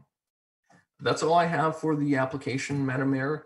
Uh, Of course, we welcome any questions. Great, thank you, uh, Mr. Patton. I'm going to go around the virtual council table and I'll start this time with Councillor Bruschetti. Any questions for the planners? Thanks, Mr. Patton, for that long-winded, uh, big explanations on everything. A lot of changes there. Um, I'm gonna just ask, I guess, for some clarity. I am not sure if you were aware, there was a letter circulated around the municipality. I'm all for the residents getting information. I would just like to clarify a little bit of the information that's on there, just to clear, clearly point out a few things that were, were just put in, you know, they could be taken the wrong way. Just on one of the first lines, it says, um, to reduce the side interior side yards of residential properties. It's not in case, in that case, it's a two-family and multifamily side yards. This is not, this can't happen all over the municipality. This is just in those designated zones. Am I correct? That is correct. So the map before you shows the RMF one uh, zones where they're applied in the R, in the RM. The uh, change, the reduction in the interior side yard that I referred to and that I believe the letter is referring to only applies to these uh, areas that are zoned RMF one zone. It would not change the side yard requirements in any other zone in any other part of the RM. So just to be absolutely clear, the uh, redu- proposed reduction in side yard requirement um, is specific to the RMF one zone. And again, this map shows where uh, the RMF1 zone is applied in the municipality. And of course, it's sparingly uh, applied throughout the Middlechurch uh, uh, area. So in, in no way it's increasing the density because these zones are already created, the lots are already created, everything like that. That's correct. The density is not being impacted by these proposed amendments in any way. If we're talking about density as, as a dwelling units per uh, amount of land, uh, the amendments would not introduce uh, new um, zones or new permitted uses in zones that would uh, increase the density. They're not changing the lot sizes. Um, so that side, there's no in- increase in density being proposed as part of these um, amendments. Okay, so you're, you're, I'm just kind of surprised that it wasn't picked up at the planning level. You know, I wasn't a counselor when this came up, but I was at the meeting when they were talking the four foot, eight foot. So I can see where the mistake happened, just four and four is eight. So, but I'm just surprised that it wasn't picked up on a forty-eight foot lot with a two-family home on it. That's gonna leave a twenty-four foot home, or a twenty-four foot lot. Well, who's gonna build a sixteen foot wide home on that? I'm just surprised by the, that the numbers were not picked up when it was, you know, being reviewed prior to it being finalized. So I, I just wanted to make that comment just because we've, we've seen some stuff happening. And this is the kind of stuff that creates a lot of, you know, I guess hardship through the municipality. It, it- people are hearing things and we have to answer to this again when the bylaw has already been reviewed and it's gone through so many checkpoints and I'm still surprised to see stuff like this being being missed, which is a ma- major part of that that RMF one zone. So thanks for the clarity on your ex, but you pretty well explained a lot of the stuff. That's why I'm not going into a lot of it with detail, but so this was more picked up just because an application was now put in for the buildings? Yeah, so uh, as I mentioned earlier, um, this zone came into effect in, in May 2017, but our office did not receive any applications for properties in the zone until uh, very recently, uh, within the last month or so. Uh, and so the, the regulations were never road tested, so to speak, um, in, until again, the applications started coming in to develop these properties. Um, and that's when these uh, inconsistencies were, were noted, and that's why the amending bylaw is coming before you tonight. I appreciate you going through all that because me reading it, not being a planner, of course, so you know, it was a little bit of, I'm going to say gibberish to me because it's not part of what I do all day, but it clarified a lot of it, and I hope it clarified it for other members of council too. Thank you. Thank you, Councillor Bichetti. Councillor Kleiber, any questions for the planner? And Mr. Patton, was the bylaw initiated by Red River Planning for housekeeping amendments? Um, so the bylaw uh, applicant is the RM in this case. Um, the RRPD drafted the uh, amending bylaw. Okay, so our administration then has had input into the bylaw itself. That's correct. Um, in the, in the, uh, uh, circulation of the application, was our fire department circulated in the application? I don't see that. And would that be something that you would do or we would have to do on our end? The RM fire department is not on our uh, typical circulation list. Um, I- suppose, uh, of course, we would refer to the RM in general, and then within uh, that, if the RM, uh, we, we would rely on the RM to circulate it to any any uh, departments um, that they would feel relevant. Okay, thank you. Um, also, you said that doesn't increase density, but it does increase the footprint, reducing the side yard to four feet, does it not? So there's a increase the buildable area in terms of there is already a site coverage maximum in that zone. That wouldn't change. Um, it would increase the uh, the possible width of a, of a building that's being proposed in that zone. Um, so Which increases the footprint, right? it, it could, but again, there's a maximum site coverage, regardless of the of the yard requirements. There's a maximum site coverage that's in place uh, in every zone. Um, that Okay. footprint. Yeah. I think one of the comments made by one of, um, there was a comment made that, um, uh, if we didn't increase the side yard, we would have long skinny houses. Would you concur with that comment? Well, all I can say uh, in regards to that is, again, the width uh, for properties in the RMF one zone is 24 feet. So if you have an eight foot interior side yard, um, that means that you can have a maximum um, unit of 16 feet on, on that property. Um, All right. So the other option is for if, if they wanted to have more space on the side or make it wider, is just to make a bigger lot. Is that correct? That would be an option, correct? Right, okay. And um, I also noticed um, there was a switch on eight C. And it was a switch from a side yard to three feet. I'm just trying to, was trying to nag, navigate through it. I gotta be honest with you. That was a very long document with a lot of changes. And of course, my computer just died. Oh, boy. Okay. But it was eight C. Can you just explain that to me a little bit more? Certainly. So I believe you're you're you're referring to the uh, the adding of a, an interior side yard requirement for detached accessory buildings in the RMF one zone. So in that zone, if you look at the current zoning bylaw, the table uh, just doesn't have a number in there. Um, so uh, there is a setback requirement um, for for detached accessory buildings that share a common boundary in that zone. Uh, but Okay, your typical detached accessory buildings right now in the RMF one zone, there is no interior side yard requirement. Was not, okay. it's not part of the bylaw. So we're, we're imposing one. So question for you, if we're imposing uh, uh, a new side yard, why wouldn't we mirror the one that you're suggesting, which is the four feet instead of the three feet? Council can certainly, uh, c- if that's the will of council, that yard requirement um, of three feet can certainly be uh, increased to, to four feet. Um, Okay. The uh, three feet was proposed uh, in order to give um, um, sort of Just the, provide something, right? Well, it, it gives council the the ability to uh, to increase it if if uh, they so wish.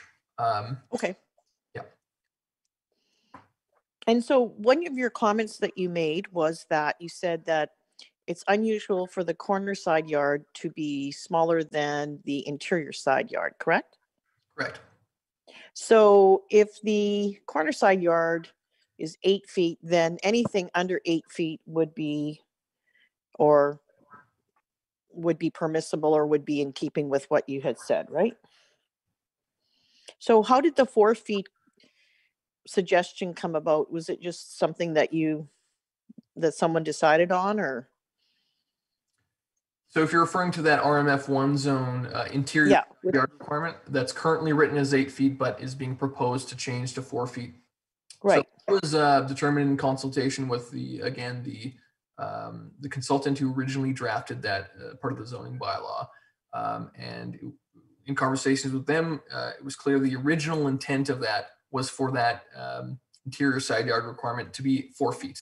The eight feet that currently exists in the bylaw, um, that number came from um, an earlier um, draft of the bylaw, uh, the amending bylaw that referred to minimum building separation between structures.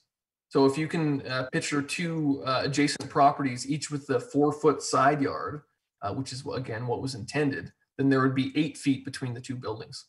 And so, so, okay, go ahead. so in conversation with the again the consultant who originally drafted the bylaw, the intent of that eight feet was to be the building separation between the two buildings uh, on adjacent properties. It was not intended to be uh, a setback from the property line to the, to the building. But unfortunately, that's how uh, that's how the amendment was uh, was drafted and uh, and ultimately passed. So the new proposal then, is it from building to building on the side yard? No, that would be from building to property line. All these side yard requirements, any yard requirement is measured from the property line to a building wall.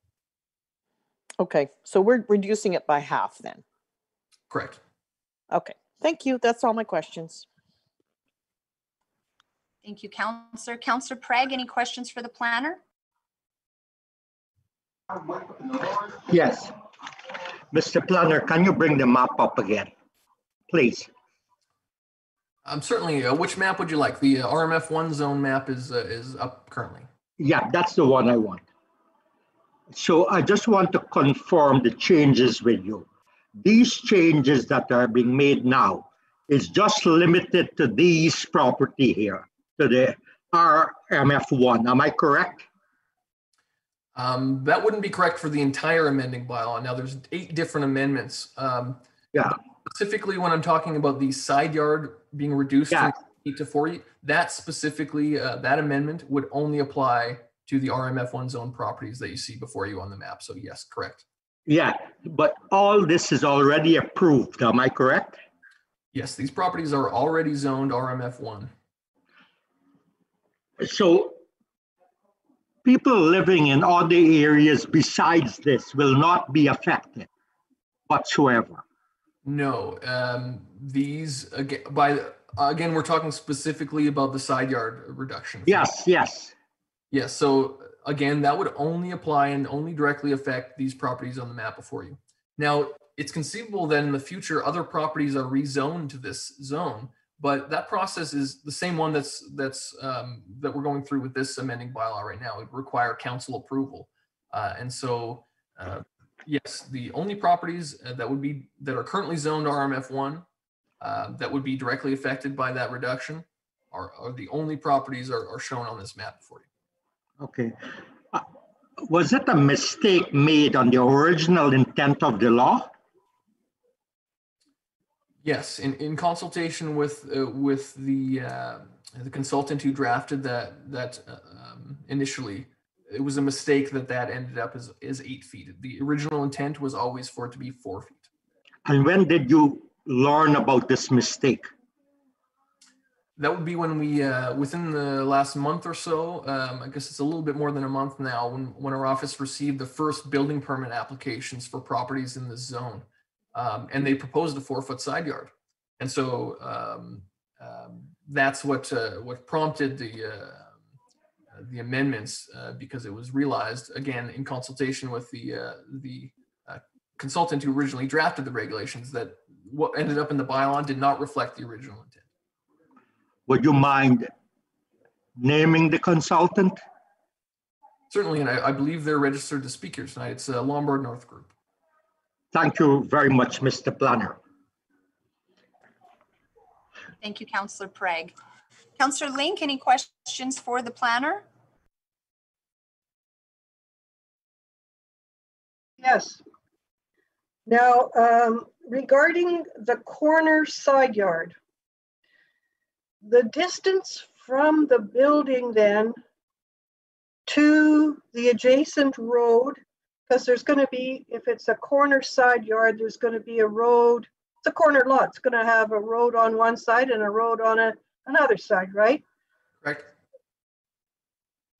uh, you're proposing that the distance from this, from the house basically to the road, because we've got no sidewalks either. So it would be the distance from the road to the house would be five feet. That's what you want? That's what's wanted? Uh, RMF one? So the current requirement in the RMF one zone is five feet uh, corner side yard. Uh, We're proposing to increase that to eight feet. Okay, Now, that distance is not to the traveled roadway itself, it's to the property line. So typically a roadway, um, the, the right of way, if you will, of the road is larger than the actual paved surface. Um, so that, that width depends, of course, on the individual road. Um, but that eight feet that we're proposing would be from the building to the property line adjacent the road. There would be additional distance between the property line and the actual paved uh, roadway. uh, and what, what's that distance usually from them, from the property line to the road? That might be a question uh, best suited for your administration. Uh, there'd be road standards um, that uh, that are followed that would specify the the minimum, you know, size of of lanes and and uh, traveled surface. Okay, uh, I've got another question. And it's re- in regards to the parking table. Um, the parking table doesn't appear to, um, with the common parking area, you want, uh, the amended part to show the number of spaces required for a common parking area. Um, handicap parking is not at all accounted for, I don't think, in this bylaw. And I think in this day and age, with accessibility being a big issue, that handicap parking should be addressed in this bylaw. And I think what's missing also in this bylaw is the spaces that we should be allowing for handicap parking, but not only that, the spaces that we should be allowing for parking even in areas where there is no common parking area. The reason I'm saying this is I've seen a development where this, the space from the garage door to the street didn't allow much, it it didn't allow anything other than if the vehicle of the house happened to be a large truck, a pickup truck, that's all you could get into that driveway. And then you were having to probably step out into the road if you wanted to go around that vehicle. So our driveway, um, I think what we need to do is specify some parking space sizes. Um, I don't know, for compact cars, for trucks, for, for medium-sized cars, whatever, but, um, so that it affects the length of the driveway that we're requiring. So uh, it really um, uh, affects the appearance of, of the um, units. It makes them look very, very, very tiny and compacted and uncomfortable. I think the parking space, I think the spark parking table needs a lot more work than we see here. Um, and that also, um, is connected with, I think it's number seven C, I think it is, table fourteen. Uh, the notes. There is a revised text. It is followed by amended notes, eighteen-foot driveways. That allowance for a driveway, I don't think is adequate. If you're taking it from the front of the garage to the street or to the property line, it's not adequate. And we've got examples of it. We all visited a place, all of council visited a place where it was cramped up. And I think that probably the, the driveways are only 18 feet. It's just not adequate. I think that there's a lot of things in this, in this um, package that you've presented us. It's, it's more complicated, I think, than uh, is, is first, um, first thought. I also want to uh, respond to the comment about there's only small areas in I- the RM. Could I just finish, please? I was just going to let the planner respond to some of your questions about parking. But if, if he's taking notes, I'll just, you can carry on and he can, he can take notes and comment on each of your questions. Go ahead, Counselor Link. Well, I, I wanted to just make a comment. He won't have to respond to this.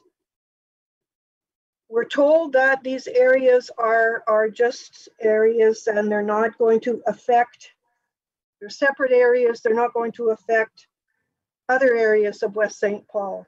I really am having trouble with that. Um, these areas that you see on the maps, and then there's the RS areas and the RMF2s, they're embedded into existing or areas and more developments are proposed that will be embedded in and around existing areas. So the existing areas actually are impacted in my, in my books. Um,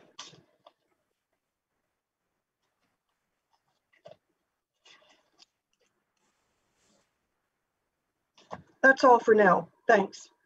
Thank you, Councillor Link. Um, hopefully you're taking notes, Mr. Patton, just regarding the questions on parking, um, other embedded areas of RMF1. If these are things that you could address, for sure. So in regards to the uh, um, the uh, accessible parking requirements, so, so there is a section of the zoning bylaw that does require accessible parking requirements. Um, that's table six uh, on page 35, um, section 32121.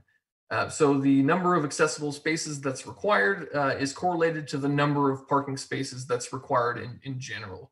So I, I, would suggest that there already all are, are uh, provisions in, in the zoning bylaw that address accessible uh, parking. Uh, in terms of the 18 foot uh, driveway length in the RMF1 zone, again, that's a, a note that's that's already existing. That regulation already exists, already approved by by the council. Um, that uh, it's a fair point. Uh, certainly, an amendment could be brought forward to change that if council so desired, but that would fall outside of the scope of the current amendments that are being considered. So, thank you for for the note, um, uh, and it's something that I can, as you know, uh, our office is is undertaking a zoning bylaw review, and so that's something that can definitely be um, uh, be considered uh, for amendment as part of that general review. But it would fall outside the scope of these amendments.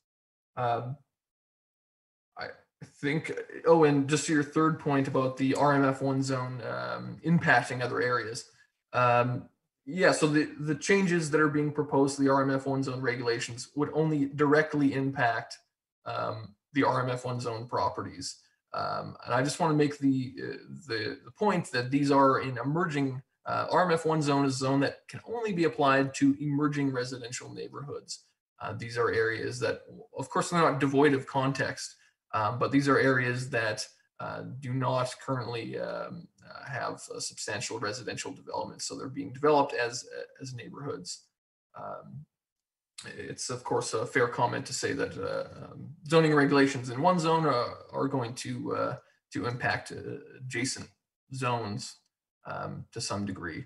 Uh, but my point specifically is the, the regulations that are proposed to being changed in terms of the side yard requirement that is specific to the RMF1 zone. Counselor Link, go ahead. Thank you. Even though um, the shrinkage of the side yards in RMF1 was a mistake, I'm of the opinion it was a fortunate mistake because I'm thinking of what the people told us in our when we were asking for feedback about our strategic plan to maintain space. All right, this is a little bit of space. But even a little bit of extra space between buildings in my book means quite a lot to the appearance, say, in 20, 30 years. It also affects people's health and well-being. We know from COVID that people who have a little bit extra space to to have access to cope better with the situation. So I think all in all, this was probably a fortunate mistake. Thank you. Thank you, Counselor Link. Counselor Bichetti, go ahead. I just want to, just a little comment to Counselor Link on that one. Just something else we also heard in our strategic plan was that we had residents in West St. Paul that wanted to downsize to smaller lots with less area to, to do less work in the yard that they've moved. So really it's, it's, it's, what you said is exactly right, but we also heard the other side of it also, that people wanting to downsize from these bigger areas, the Riverdale area, that kind of, I'm just using that as an example and wanted lots that there is less maintenance on. So like we're listening, but I guess it's the balancing act here, right? That's what we're looking at. Thank you, counselors. I have a, a couple of questions. If there are no other questions for the planner, are, are we asking any other questions of the planner? Otherwise, if we want to discuss, we could discuss later. Counselor Link, do you have questions for the planner? Well, I'd like to thank Councillor Bichetti for voicing his opinion. And we all are respecting one another's opinions, even if they vary. Thank you. Agree. Thank you. Um, I, I- I think I, my comments, um, Mr. Patton and questions, I want to thank you for a very detailed presentation. There's a lot of changes proposed and you really walked it through very easily for council to follow, for residents to follow. And sometimes there's misunderstandings in what is exactly being presented and, and proposed. Um, and I know that our community is very passionate and engaged and I commend them for that. Um, sometimes information is hard to understand and digest. So I want to commend you. You did an excellent job walking through this for us. I, I think a, couple of the questions, um, comments made about, um, about the side yard going from eight feet to four feet. You mentioned in your presentation that we have outstanding development agreements that limit to bungalow. Um, and I think that's probably what brought this forward. So this council uh, required as part of one of these areas, and maybe you could highlight it on the map. I believe we highlighted uh, and, and forced a developer, I don't want to use that term, but required a developer to um, put in their development uh, bungalow side by sides. Because what we heard from our residents is that they wanted to downsize to homes that were accessible, um, that they could get access to by wheelchair, um, that seniors could live in those homes. And so council required that they have, I believe it was 36 bungalow um, with, with double garage. And I don't know if you can circle that, but in behind Sunova Center. So if we don't make these changes, what council did to try and help our community and address a need and avoid our community and limit two-story multifamily because there was concerns about height and wanting to make sure that it would be accessible that if this doesn't go through from the, the foreyard, they won't be able to do what council asked them to do to meet the needs of our residents. Would that be, is that correct? Well, I, I don't know. Um, so, so first of all, uh, I see somebody's uh, drawn on here. Um, that uh, Okay, isn't me. I'm not. I'm not sure who. who did Okay. but uh, uh, I do believe I can highlight. Um, so the two general areas that you're referring to, the black circles uh, are now outlining. Uh, Yeah. uh, so not all the properties in the in in that area uh, that I highlighted, but some of them uh, again are restricted to to one story. Uh, in terms of whether they would be um, developable in with the current regulations, that's a that's a question for a, a- a developer, I suppose.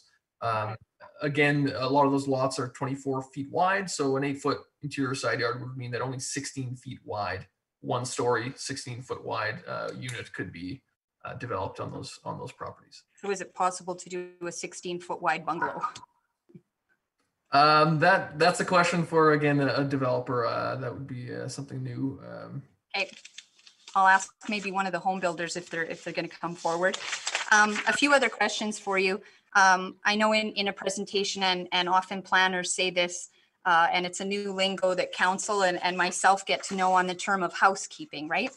Um, And, and so thanks for not using it a lot, uh, but you introduced it. And so by housekeeping for residents that are watching, um, it's cleaning up and when the intent of the bylaw isn't coming out in practicality. So when council talked about errors being missed, often they're not noticed until somebody pulls a permit and the intent of what's supposed to be in there or um, is cleaned up, right? Is that how you would fairly describe housekeeping? For sure. So zoning bylaws are, are intended to be sort of living documents that are that are being revised and and they're they're constantly being uh, being looked at uh, as how, how can we improve these um, to match the current uh, conditions and, and what the intent is and what the plans and policies are in place. So they're they're documents that require constant revision. Um, and so housekeeping is a term that that's generally used um, just to refer to amendments that their intent is to clear, clarify existing regulations, not to introduce new, um, new uh, uh, policies or anything like that. Um, it's it's very common practice for zoning bylaws to to undergo housekeeping amendments every several years as part of just general um, housekeeping. And, and I see a lot of those, which is great. Um, in going through some of the things that you talked about, uh, projections, um, dealing with air conditioners that are projecting out onto side yards and things like that. In terms of housekeeping, um, this was costing our residents quite a bit of money. So as a counselor, Um, I, I myself sat uh, at the council table and saw 67 variances from our residents coming forward to ask for a variance on a cantilever, on an air conditioner. So this eliminates all of that cost to residents, right? Is that correct? They'd have their projected air conditioners and they won't have to come to council in, in other areas of the RM. That's right. It would, it- we would anticipate that this would cut down on the number of variances required uh, by, by having those allowances for certain types of projections. And again, there are limitations on how far they can project. Um, But yes, it would, it would, uh, the, the idea is that it would cut down on variances. and save our residents money. I don't know what the fee is for those kind of variances, but it's a couple of hundred dollars at least. Uh, Full variance, the cost is $666 currently. So to come for an air conditioning variance, those sixty-seven properties, like six hundred dollars because your air conditioner projects. Uh, Yes, if it, if it projects beyond, uh, yes. Wow, okay, that's a good thing. Uh, secondary suites, um, I'm glad that you did that and made that change. Uh, I think with an aging population, people are concerned about that, and so clarifying that in, in, in the zoning was good. Um, on that rental, just to be clear on the, um, changes to the zero side yards, that might seem alarming to people that don't understand that. Council has heard a lot of comments from people that they prefer ownership versus rental. And that change proposed in there on that zero interior side and how you had those lines drawn for property lines allows for ownership. Is that correct? Yeah, it would certainly facilitate ownership of individual units. um, uh, Certainly more so than, than simply having a multi, multi-unit uh, building with multiple units on one lot. Um, Then you're looking at a condo situation or something, that if you're looking at individual unit ownership. If each unit is on an individual, individual property, that certainly facilitates home ownership. That's good. Uh, So where these bungalows are to have that zero down the, down the middle and be able to declare property line like that with the zero clearance allows them to sell those to people as opposed to renting them out and, and having some of the concerns. And I'm not going to bash rentals because they're important. um, But it addresses some of the concerns that we've certainly heard from residents about facilitating that ownership. Yeah, it would, it would allow for a wider range of options in terms of rental or ownership or what have you. Perfect, thank you. Um, the other question I wanted to ask, um, you talked about the side yard and we've brought up the maps and I'm glad that we are highlighting it for residents so there's real clarity about the areas that this is impacting for the, um, side yard clearance there. Um, how much of the municipality would you say, and maybe this is a question for Miss Elias, that that RMF one area takes up? Um, I, I know there's been lots of concern from residents and lots of comments made about West St. Paul is going high density. Um, our community is no longer rural. I'm wondering the impacted areas here, like, and these are already previously approved, a majority of them by the previous council, one area by this council. Um, what, what percentage of the municipality would this constitute? Well, I don't know uh, that I want to speculate on the percentage, but the map before you clearly shows that it's a very small uh, area of the overall uh, portion of the RM. Um, So I- Miss I- El- as a Miss Elias, specific would you percentage, I know? don't. Thank you, Mr. Planner. Miss Elias, would you have that information at all? Yes, Madam Mayor, I have that available. Uh, For the RMF one zone property, it's about uh, 70 acres in total. And, and how many acres is the entire municipality? I don't know if you know that. Uh, For the total municipality, it's, uh, it would be about 21,000 acres in total. So our entire municipality is 21,000 acres and the impact to this is 70 acres. Yeah, it, it would be roughly about 0.32 uh, percent of the total. 0.32% of all of West St. Paul. That's Correct. One, of 1%? Less than 1%. Okay. I think it's important to clarify because one of the concerns that we had heard is about um, how much, you know, our municipality is not rural anymore. And it's really clear this is just impacting less than 1% of the municipality of things that are already approved. I'm, thank you for that information. Um, my other question um, reflects back to concerns I've heard from residents as well about we're becoming like the city, we're becoming dense like the density of the city. And, and so I just wanted to highlight, you, you had mentioned that multifamily in West St. Paul is not city of Winnipeg or or, or city density for a couple of reasons in terms of height, access to ground level. This doesn't apply to apartments. Can I just have you clarify that again? Because I know that's a concern that's raised. Sure. So again, I'm spe- uh, speaking specifically about the RMF1 zone. Um, in that zone, it allows for two uh, two unit and, and multi-unit uh, dwellings, um, but those units need to be ground uh, need to have ground access, individual ground access. Uh, and there's a maximum height of 35 feet for any buildings in that zone. Um, so the, the the effect of, of that is that uh, um, sort of high-rise uh, buildings wouldn't be permitted. Um, buildings that don't have individual unit uh, accesses off ground level would not be permitted. Uh, it's to facilitate um, uh, the types of multifamily, for example, townhomes uh, or other side-by-side uh, type uh, type units. Thank you. That, that clarifies it. We, it's the comments that we often get when there's change in the municipality and, and our increased density is, is not city density. Um, the other just question I had on the three foot accessory building. Um, so that's talking about a shed being three feet from the property line? That's That's what's proposed? Yes.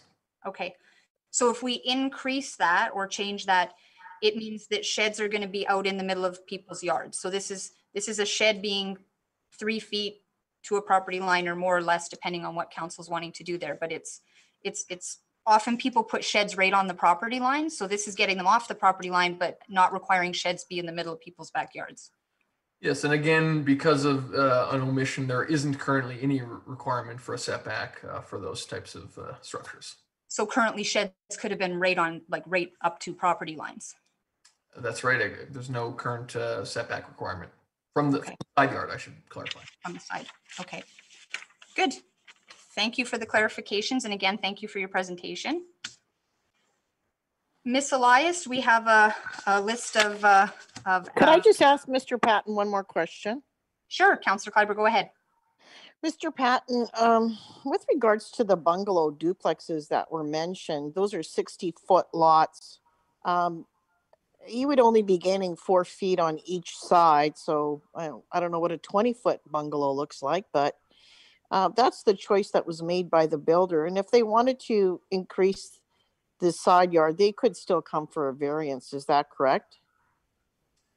That's uh, that's correct. If uh, if an individual property owner wanted to apply for a variance to uh, in any in any zone anywhere in the RM, they can apply for a variance to to reduce the side yard requirement. That would have to be considered and approved by council. Right. So eh, even though we're, we're making these changes that we're saying this is the standard, if it wasn't approved, you could still apply for the variance and you could still get the variance, right? Or eh, we'd have to vote on it, right? Council would have to consider individual properties at a time uh, and grant variances on an individual uh, property level. But yes. Okay, thank you.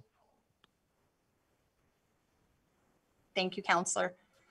Uh, Miss Elias, have we got a list to go through on, um, on those registered in support, uh, against and for information? And we'll start with the list of supporters as is our process. Uh, we, we do, we have Brandon Powell registered uh, as in favor, and he is with us this evening. Welcome, Mr. Powell.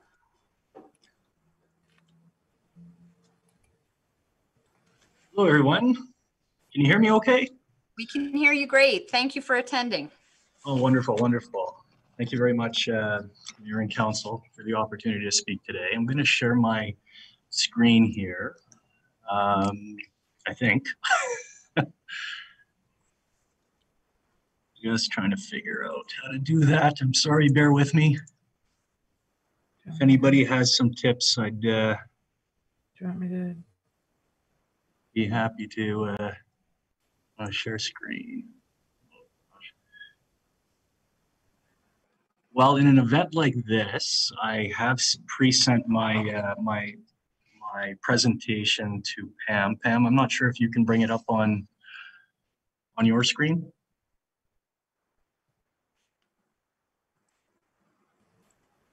Uh, yes, Mr. Powell, we, we can bring that up for you. Thank you very much.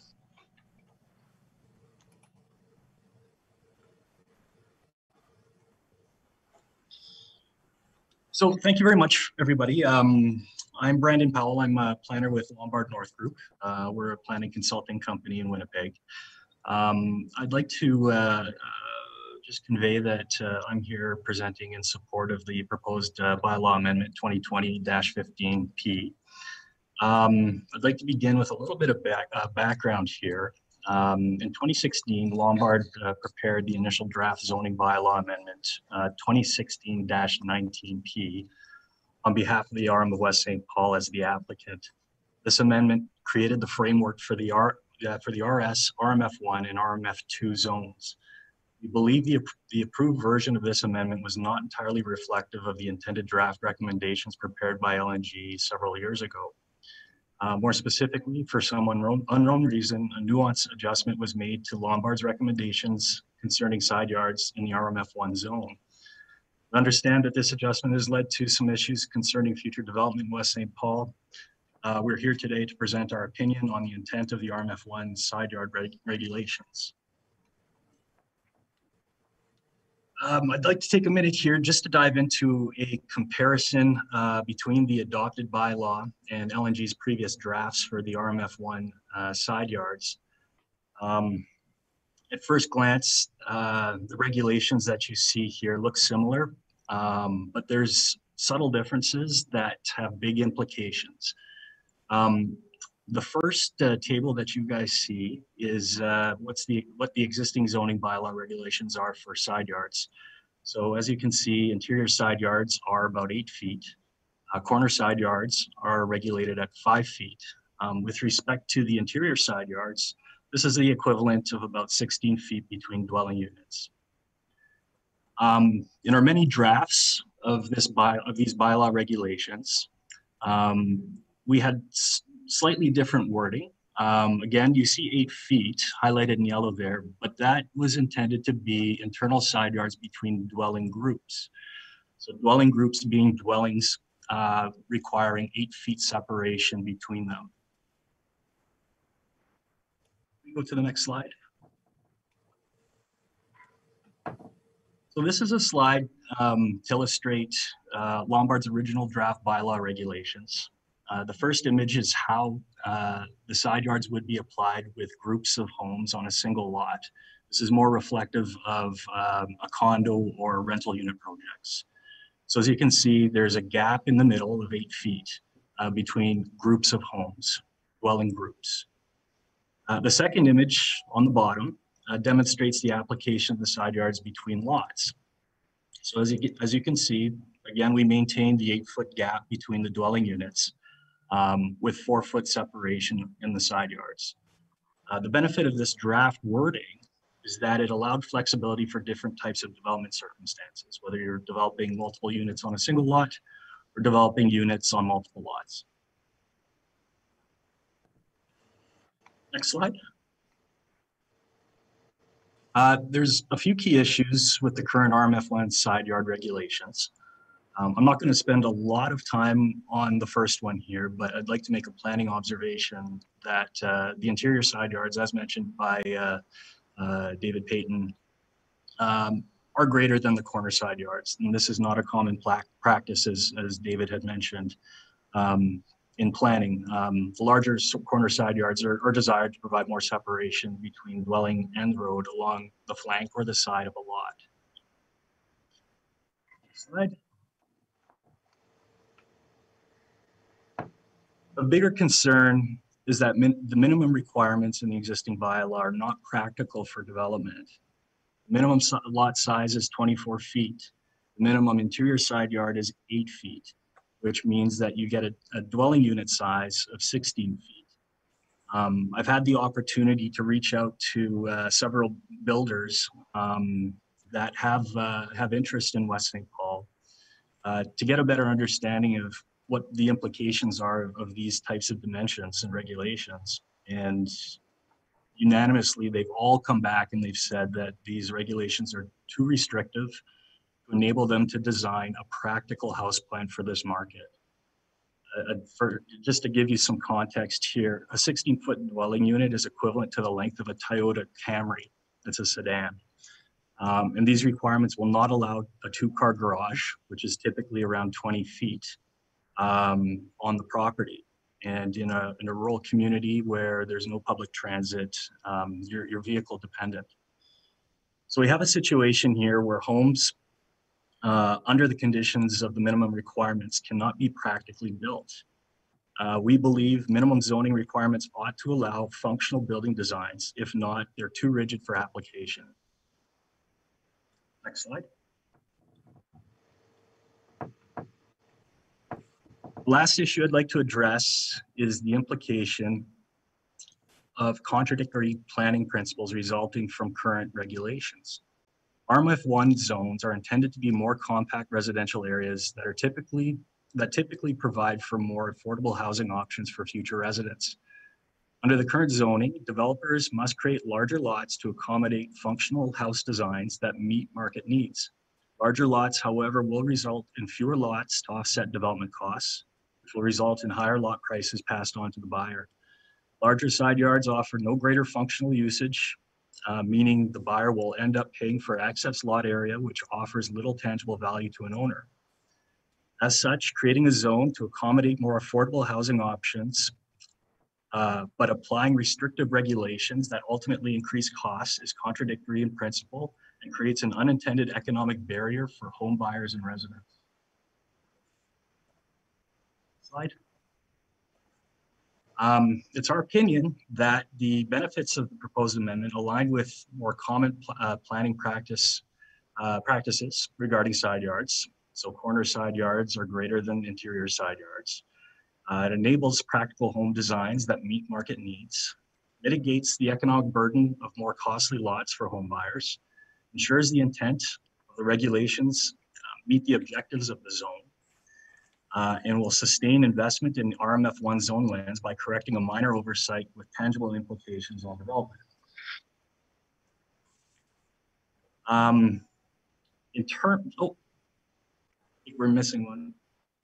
There's a missing slide. We may, may- you guys might be missing one slide here, unfortunately, but uh, I'll speak to it. It's, it's my last slide. Um, In terms of the application of the amendments, I'd just like to close by emphasizing that the RMF one zone is a, is a tool that can be applied strategically and most appropriately at council's discretion. Uh, There's specific areas, as, as we've understood throughout the presentations today, uh, where the RMF zone is applied uh, in order to minimize land use conflicts.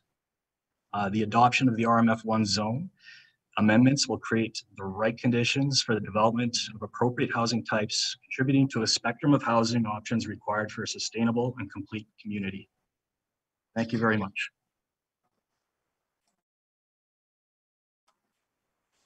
Thank you, Mr. Powell. I'm going to go around and see if there are any questions uh, for council, from council for you. Councillor Link, any questions for Mr. Powell? Thank you, Mr. Powell. Councillor Bichetti, any questions for Mr. Powell? No, no questions. Thank you.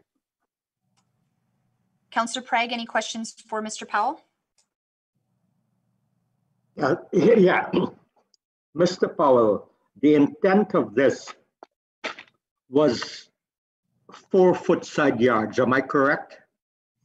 Yes, the intent would be four-foot side yards with eight feet separation between dwelling units. Okay, thank you. Thank you, Councillor. Councillor Kleiber, any questions for Mr. Powell?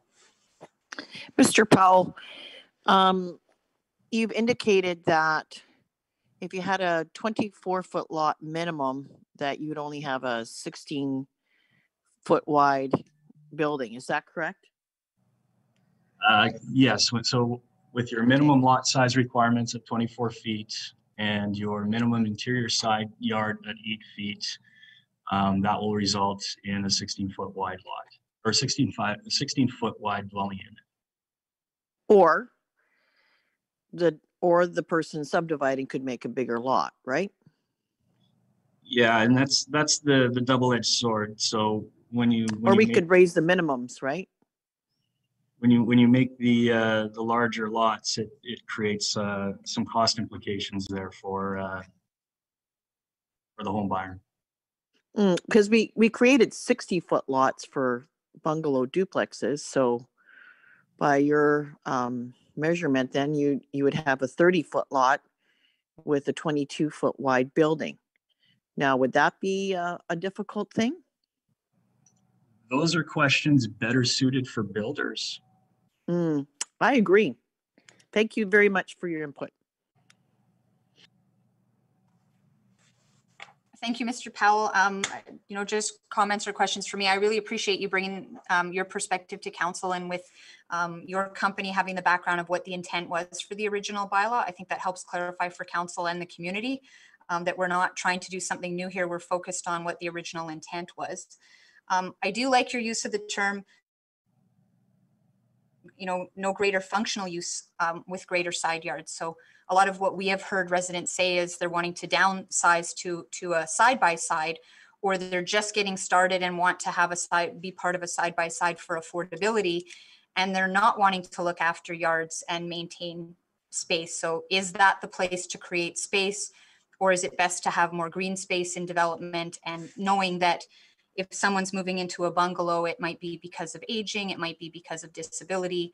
Um, so a lot of the comments that I've heard from people are they're specifically moving to a side by side because they don't want to maintain a lot. It- Has that been your experience? Yeah, and uh, I mean, if you look at it, it's it's it's hard to to do much with a side yard. Um, you know, there's a lot of shade cast there, so it's not like it's a perfect spot for, you know, planting a garden, for example, and uh, it just really adds to the maintenance of of the yard in any event, uh, which, you know, some people that are looking to downsize want to uh, uh, perhaps uh, limit the amount of maintenance that they have to get involved in. As an as an example, I mean, everybody's different. Um, but certainly you know, from from the information that I've received from building uh, from builders, uh, they they really don't see much value in terms of uh, excessive side yards in terms of their ability to to meet need, the needs of the market. Thank you very much. Well, I, I want to thank you for coming in and presenting to council. Very much appreciated. My pleasure. Ms. Elias, have we got others registered to speak? We do, Madam Mayor. We have uh, Jackie Wilkie with us this evening, registered in favor. Right. Welcome, Ms. Wilkie. Thank you for joining us. Good evening. Can everyone hear me? Di- With, with difficult, with difficulty. Yes, we can hear you. Oh, let me just uh, see if my mic can increase the volume here. That's better. Is that better? Yes. Okay, good. Um, Ms. Elias, um, my presentation, you'll have to show my presentation because we don't have um, access to take control of the screen. So our support for the amendment to the zoning bylaw is in regards to the uh, side yards, as was uh, discussed with others. Um, if you can go to the next page. Currently, as we said, we have um, an eight foot interior and a five foot corner side yard. We've placed um, the draw uh, to show show this diagrammatically. We've shown it so that you can see what the bungalow condos um, in Parkview Point would look like with the five foot uh, corner and an eight foot interior. The yards are shown in the dashed gray line. Uh, the dark lines are the property lines. And then the building footprint you can see um, in the middle with the shared property line. These bungalow condos are the size and quality that we had discussed during the development stage so that they are the um, higher, uh, uh, give sufficient room for people who are downsizing um, and are accessible uh, to this area, which means that you need to have more width so that you're able to build in the accessibility requirements for bathrooms and for doorways and for kitchens. Those take up width. Um, doing it in a linear pattern, all in one row, would be would mean that you would fill up your entire buildable space or more to make try and make that work. You can also see how there's a disparity um, when you're looking at a corner side yard that's only five feet. There's excess space on that side that um, for one unit where the other would not would be going over top of it on the interior so that it's it you would not have an even uh, unit when you're looking at a side by side unit if you can go to the next slide uh, for me. Also to note is that in the exact, across the street uh, in the development, in the RS zone, the side yards are four foot for the interior side yard and five foot for a corner side yard. So we are not going beyond what is uh, the same, what is um, standard for the rest of the development for a single family house, which is a bigger lot and a bigger house. We're looking at this as a on a on a uh, side-by-side unit, which is a smaller dwelling unit um, on a smaller lot. The uh, bungalow condos are a 32 foot wide lot to allow for uh, the two car garage and the bungalow style home. If you can go to the last slide there. This is what the uh, the same lots would look like with the four foot uh, internal and the eight foot corner. Uh, you can see how the lot the the bungalows were designed to fit to that size with the four foot, um, and then we allow for the uh, garages at the front um, with the two car garage and the uh, driveways so that we have sufficient parking in the neighborhood as well within the site so that we aren't having extra parking out on the streets that was a concern and providing uh, lots that are manageable for people who are downsizing or people who are coming up into the neighborhood. And that is our short presentation. Great, thank you, Ms. Wilkie. I'm going to go around the council table and see if there are questions for you. Counselor Bichetti, any questions for Ms. Wilkie? Yes, uh, just that last picture you had up there showing the front yard setback at 15 feet. What, what is the projected right of way that you think there will be in that area? I guess you're the one we should be asking because you, you're probably familiar with numbers uh, between the road and what's left from the road to the property line. That one, um, for the ones that I had shown you, they were on a frontage road, so they're fairly small. But on a standard road, there's a no less than five meters, um, which is, here, let me just do the calculator thing here. 16, a minimum of 16 feet is standard. Um, usually it's 5.25, so it's a little bit more than that. Um, and also on the side yards. Um, and anywhere that a side yard is on a main road, the boulevard is a little bit wider than that, closer to six, so closer to 20 feet. So you're saying roughly the, the front drives would be 31 feet. I'm just, just roughing the number up just to, As the, as a minimum, many of the, the um, home builders in this area like to have their uh, lot, their units set back just a little bit more than that. So they can get a full um, 18 feet at the front for uh, the longer vehicle. But that again is each home builder's um, d- plan that would come forward so that they would have that, uh, that uh, done on their own. but what you're saying is minimum 15 feet could be up to 18 plus the right of way. Yep. Okay, thank you. That's all I wanted to clarify. Thank you. Counselor Kleiber, any questions for Ms. Wilkie?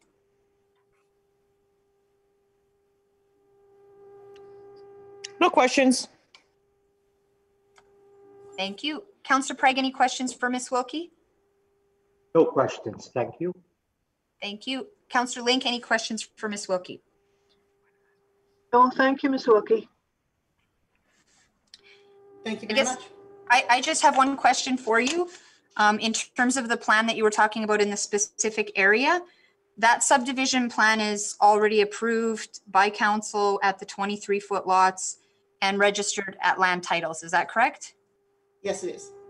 Okay, thank you. All right, Ms. Elias, do we have? Thank you so much, Ms. Wilkie. Thank you. Ms. Elias, have we got others registered to speak in support? We have Donna Thordarson available with us this evening. Welcome, Ms. Thordarson. Wanna put the- Good evening, everybody. Can you hear me? We can hear you. Perfect. I had to unmute. Uh, First of all, thank you very much for allowing me to speak this evening uh, to the bylaw. Um, Pam is going to just uh, show a a slideshow of the builder's plans that we've received. And the one thing that I wanted to touch on, well, there's a few things, but the one thing, Jackie, thank you very much for doing the specifics. She's the best at the drawings and the setbacks and side yards and the dimensions. Um, What I have received from the builders are the drawings of their homes that they have created to be developed in this subdivision of Parkview Point. You can see the bungalow side-by-sides are gorgeous. We're, we are trying to get that wide expanse to the bungalow to, um, just to give that really beautiful look to it with a double-sized garage. Uh, That double-sized garage actually is a 20-foot wide. It gives you an eight-foot wide entranceway, so you get a nice large door, side light. Um, So you've got really nice curb appeal that you're looking at. So the quality of the homes uh, for us was very, very important. So the builders were handpicked and selected to be able to satisfy what we believe that when we listened to what the counselors were speaking as to what they wanted to see developed in Parkview Point, I think that we really were able to deliver that. Um, The side yards are more of a housekeeping issue in terms of uh, the corner side yard versus the interior, uh, which David Patton had uh, elaborated quite in detail on. Uh, So I think we understand that explicitly. Um, Couple things I wanted to mention is the front setback. Um, Right now, the single family has a 20-foot set, 20-foot front setback from the property line. That's not including the front approach. And we would like to keep that consistent with our side-by-sides. Uh, We don't want to do a development such as Bridgewater where they have a 15-foot front setback. It's too close to the street. We, we were not looking for that look. Each of the builders have uh, already, it's been discussed, a 20-foot setback is what we would require in terms of our architectural guidelines. Um, The other thing I wanted to mention was the look of the housing in Parkview Point is very similar to the trails. Um, We have a signature look that we like to maintain. Uh, That goes with our trails, our parks, our lighting, our housing.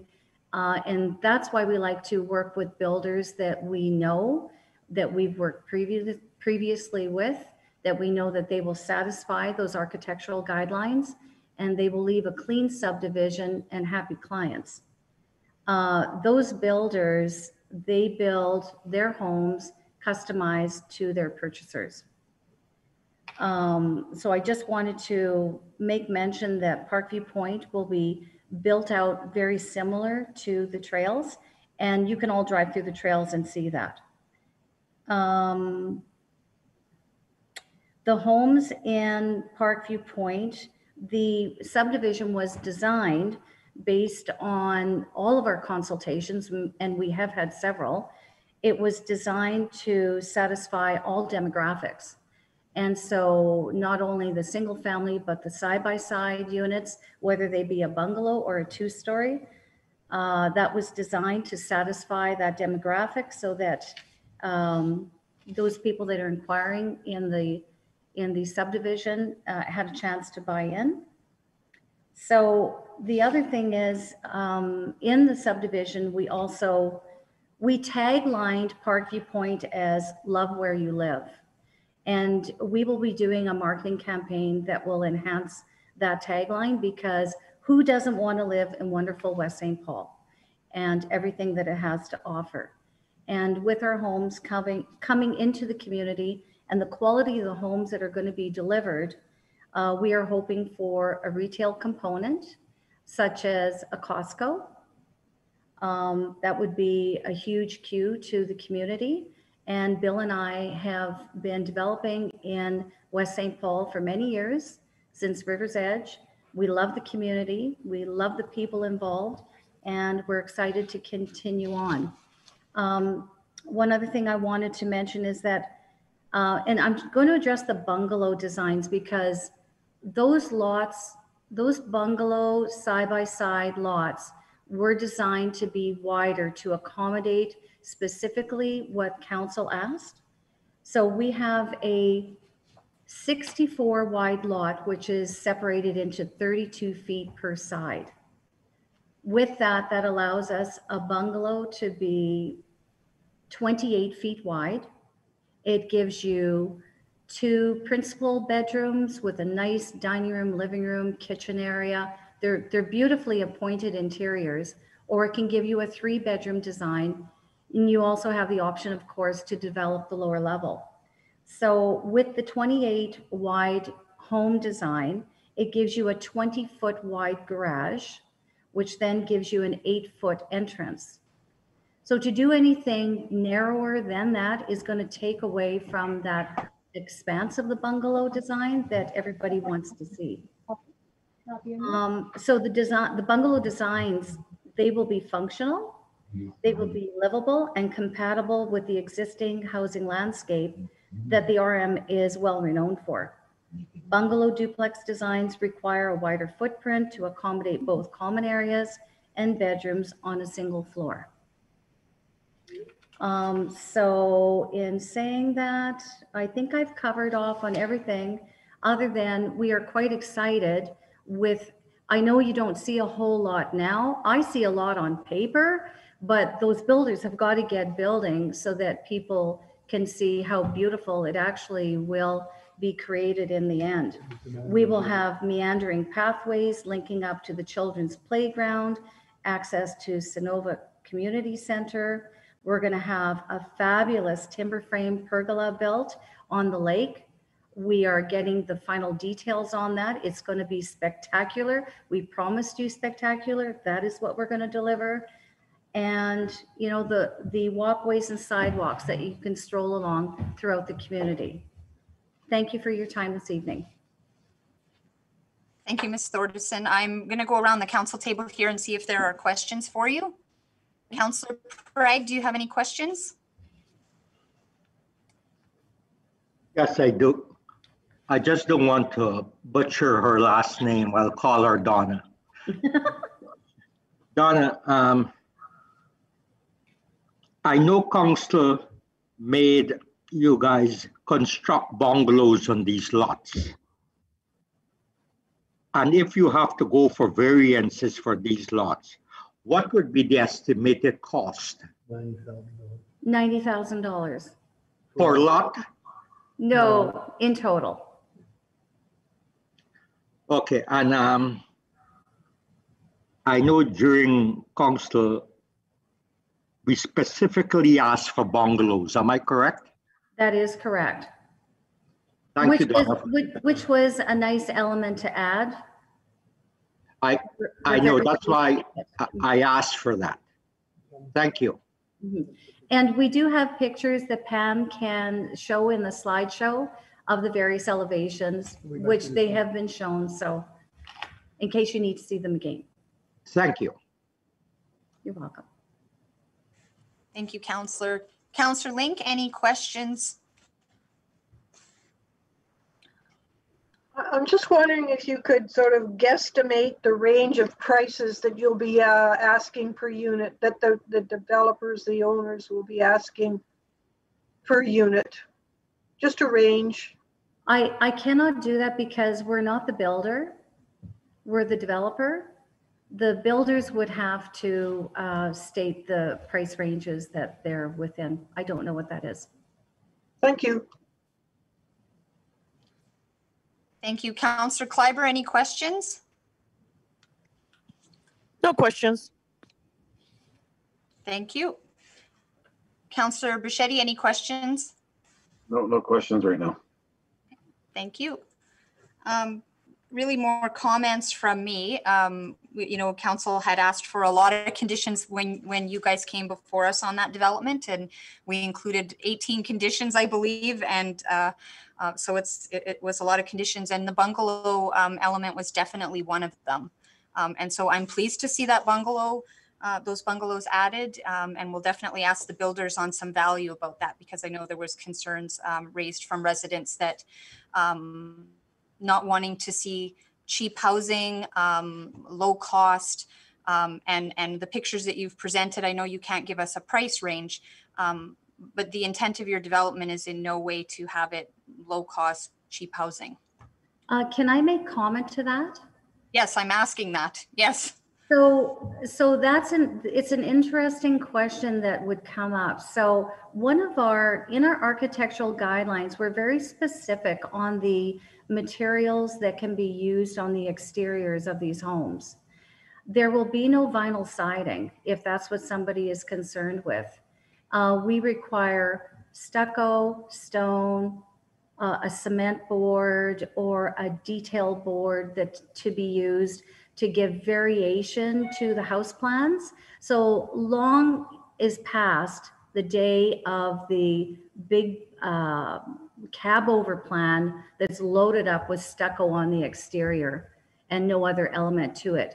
We require three exterior elements. So the same with the uh, side-by-sides, the same requirements that we have for the single family is with the side-by-side lots. There's no variation. It, it will look uh, consistent and it will be the same as what we've done in the trails to give you a visual. And, and the reason I asked that question is just based on the side yards, um, that comments that uh, have been circulating or that we've heard um, are, oh, a four foot side yard means you can just cram things in and it's cheap housing. And that's certainly not the intent of, of the development that we want to see from the position of a council table.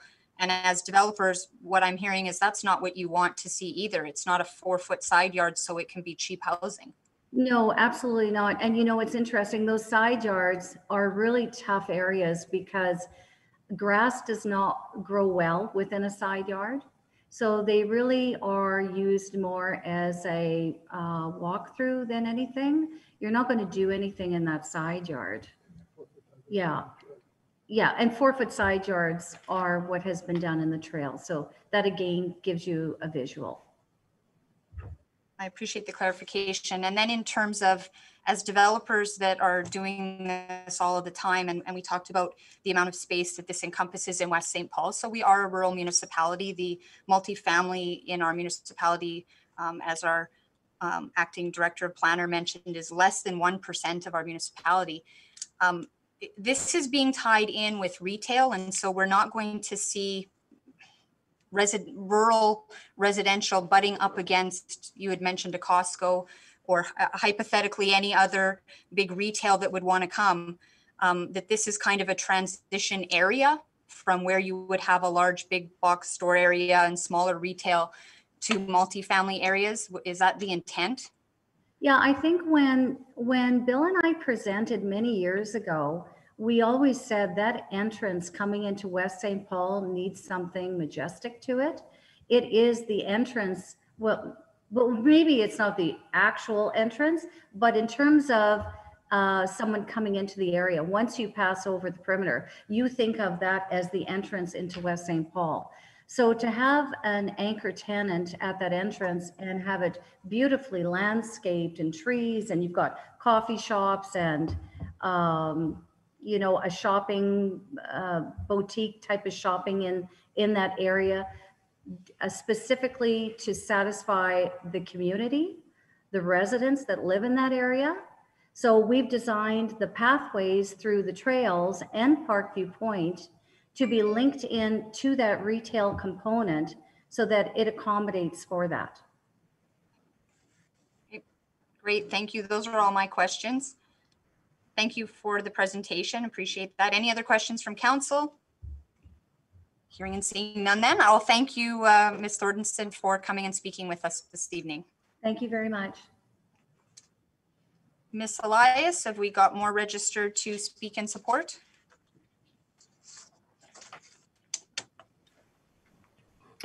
We do, Madam Mayor. We have Goldie Gooman available on the line. He's registered in favor. Okay. Welcome. Mr. Gooman, welcome. Thank you for joining us. Hi, thank you, Carol. can you guys hear me? We can hear you. Okay, good. So yeah, you know, um, I have, um, I'm a home builder. I have built uh, these kind of houses before.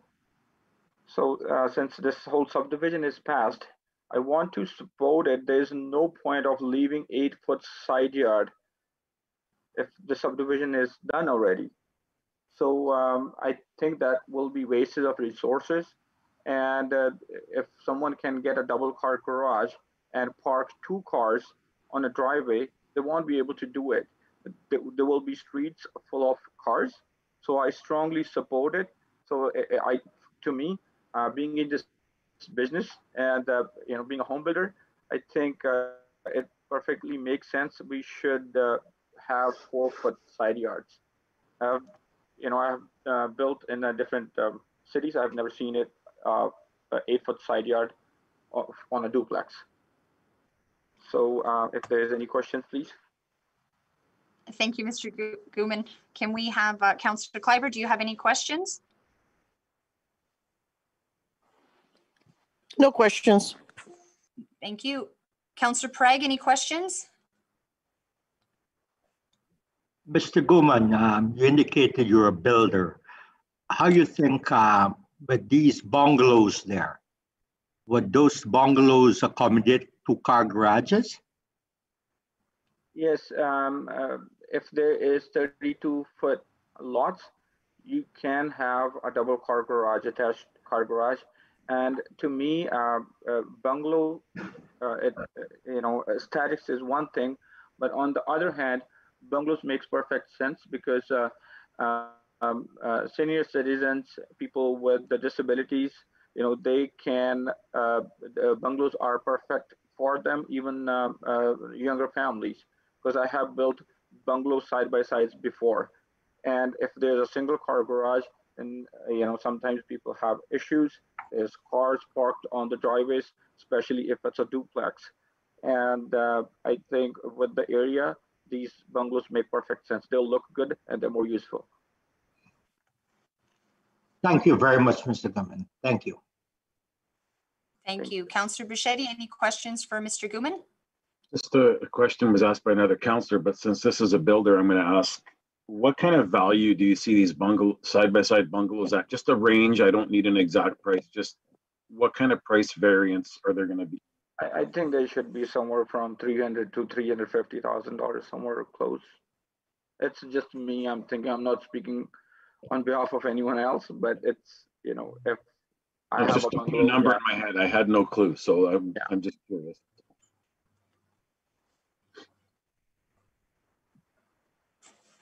Thank you. Any other questions, Councillor Bichetti? Okay. Councillor Nope, Link, any questions? Sorry, thank you. Councillor Link, any questions for Mr. Gooman? No, but thank you very much. thank you. Thank you, Mr. Gooman. Thanks for joining us tonight.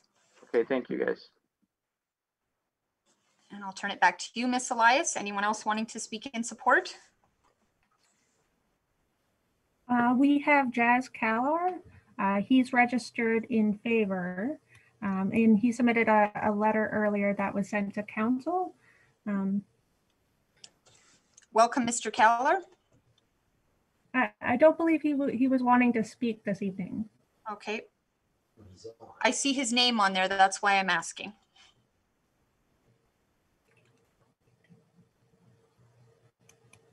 Mr. Kaler, are you wanting to speak? Otherwise, we've got your letter. That's no problem. Just want to make sure we don't overlook anybody that wants to speak.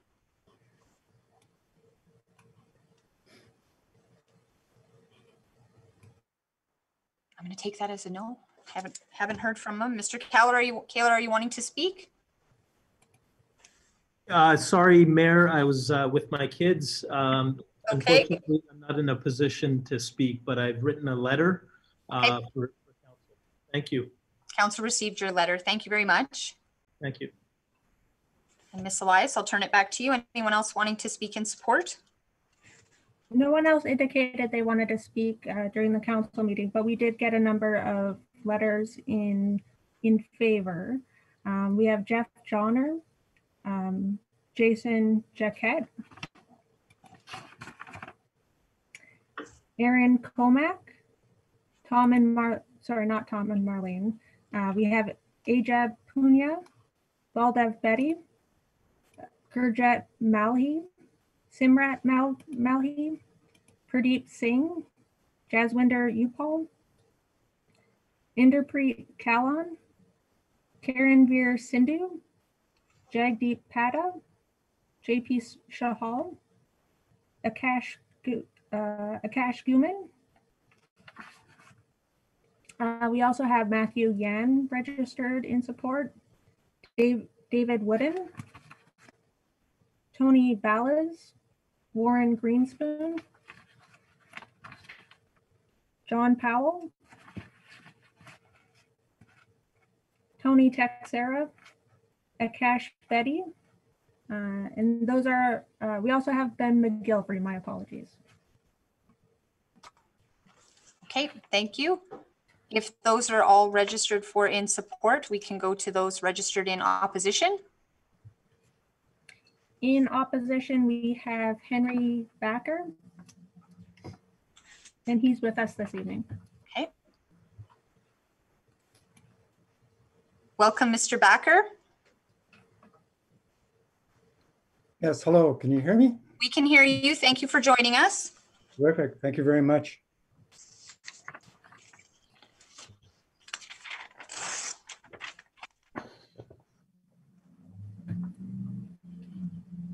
So I can proceed? Yes. Yep, go ahead. Um, Her Worship Mayor Christian, uh, Councilors Link, Kleiber, Vassetti, and Prague, Mr. Olenek, and Mr. Patton, Ms. Ferguson, and uh, administration staff. I think I got everybody. Um, Thank you for the opportunity to, uh, to speak at this meeting. Uh, My name is Henry Backer. I reside at 142 River Springs Drive in West St. Paul. And I'm in opposition to this uh, zoning bylaw amendment. Um, I'm wondering if I, before we start, if I could uh, ask Ms. Elias, um, uh, how many people uh, are in opposition uh, to this zoning bylaw amendment?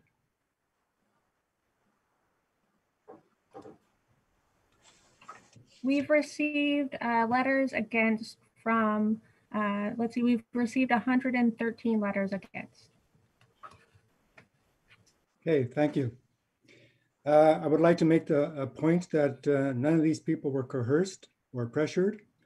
Rather, they were simply informed and afforded an opportunity to be heard. Uh, Personally, I am oppo- opposed to this zoning bylaw amendment.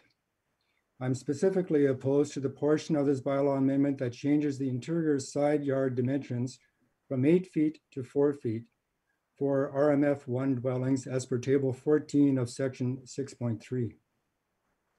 This change will substantially increase the density of new developments within all emerging residential policy areas of the municipality. Um, Perhaps if, if I may, I could ask uh, Mr. Patton to uh, call up on the screen uh, the Middlechurch Secondary Plan, uh, Concept Plan Number Two. And while you're doing that, I'll just continue with my presentation. That'd be much appreciated if you could do that for me. Was that part of the package? Was that part of the package, Mr. Patton, that you have? Uh, it wasn't. Uh, I don't have access to that to share, uh, Mr. Becker. Um, if the intent is to uh, demonstrate w- where the emerging residential neighborhoods are located, I can certainly uh, bring up a map that illustrates that. That, that is the intent, yes. Should I wait or? No, go ahead, Mr. Backer, and, and the planner will pull that up. Okay. Uh, This bylaw amendment affects side-by-sides duplexes and townhomes. It allows developers to construct duplexes up to 520 square feet larger per unit on a lot that's as small as 2,400 square feet. Um, You can see on this map here, um, all the areas that are designated as emerging neighborhood areas. And this zoning of RMF one is allowed uh, in each one of those, in all those yellow areas. So uh, I don't know if Ms. Elias would happen to have the percentage of area that would be compared to the whole municipality, but I would say that it's quite substantial. And as we said on our notice, it is uh, pretty much all uh, undeveloped uh, area um, in, in emerging areas in, in, in, sorry, in the municipality. Um, Mr. Patton, if you could confirm that uh, this zoning is eligible to be uh, applied to uh, all these areas in yellow on the map. So the RMF one zone is only permitted in areas that are designated emerging residential neighborhoods. So um, you'd only be able to apply to rezone your property to RMF one if you're within one of these yellow areas, uh, areas on the map. Correct, okay. So that demonstrates the potential uh, of uh, the bylaw amendments that are being considered here. Um, Our quality of life is eroded by the higher development densities resulting from this change. Our views are further obstructed. This change has the potential to affect pretty much all undeveloped land south of Rivercrest. The current eight-foot side yard for two-family homes is justified because each unit only has one side yard. The smallest combined duplex structure is wider than the smallest permitted single-family dwelling by at least four feet. Uh, And these structures are almost always two stories in height due to the size of the lot. These larger structures on very small lots warrant increased side yards so that the view from neighbors in front and behind these structures is not disproportionately obstructed. To the point of uh, one of the uh, developers that has spoken uh, about how useless a four-foot side yard is because it's so narrow. If they're eight-foot side yards, we've actually got 16 feet between buildings, and they become areas that could be gardens or um, nice grass lawns, etc. There is a precedent for wider side yards for structures of increased mass in the zoning bylaw. The next dense zoning of RMF2 category requires 25 feet. So there, there is precedent for the larger the structure, the increased side yard requirement. The district planner justifies the amendment by saying the current interior corner side yard dimensions were transposed in error and that typically corner side yard requirements are greater than interior side yard in order to ensure adequate visible sight lines around corners. In my opinion, the district planner is mistaken and doesn't understand the side yard requirements of two-family housing districts. Corner side yards have nothing to do about visual sight lines around corners. Rather, street right-of-ways, typically which are 66 feet wide, ensure proper sight lines around corners. The City of Winnipeg zoning bylaw does not differentiate interior lots from corner lots in two-family zones. Their side yard requirements are the same whether the lot is on a corner or midway on a block. However, they do have different requirements for side yards adjacent to a street when a corner lot backs onto the side of the lot directly behind it. They call this a reverse corner lot. Logically, in this configuration, the structure would be set back from the street side so it doesn't crowd the front yard of the lot behind it. In West St. Paul, developers do not include reverse corner lots in their subdivisions because this configuration is inefficient and unprofitable. So West St. Paul currently, current side yards requires five feet for regular corner lots in RFM one zone property. It's perfectly fine. There's nothing wrong with that. If you read from the residents' emails on the past few days, they are not against development.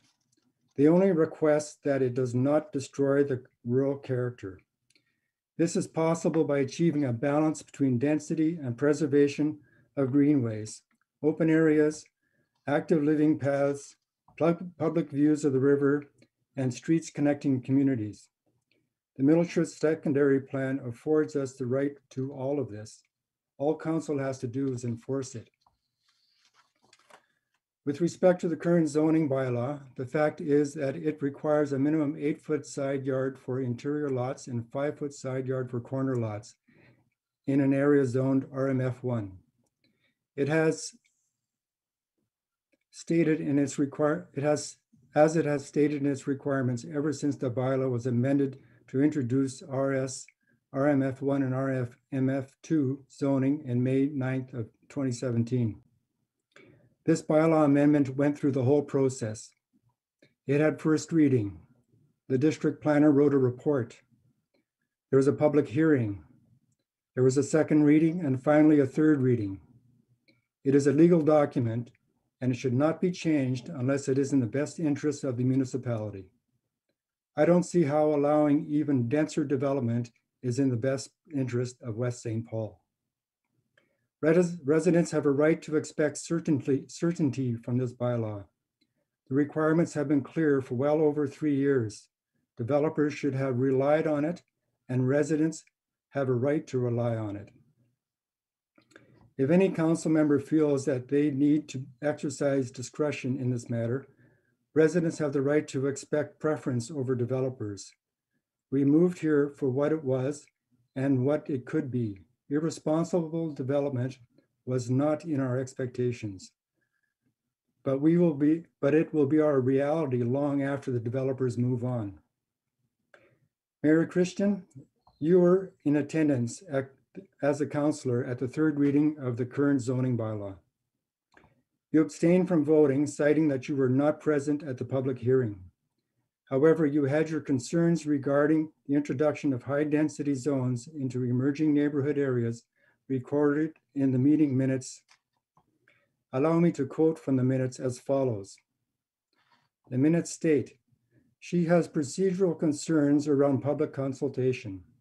She does not believe there was adequate engagement and consultation with the public on these significant changes to the West St. Paul zoning bylaw, particularly the creation of high-density, urban-sized lots in select areas of West St. Paul.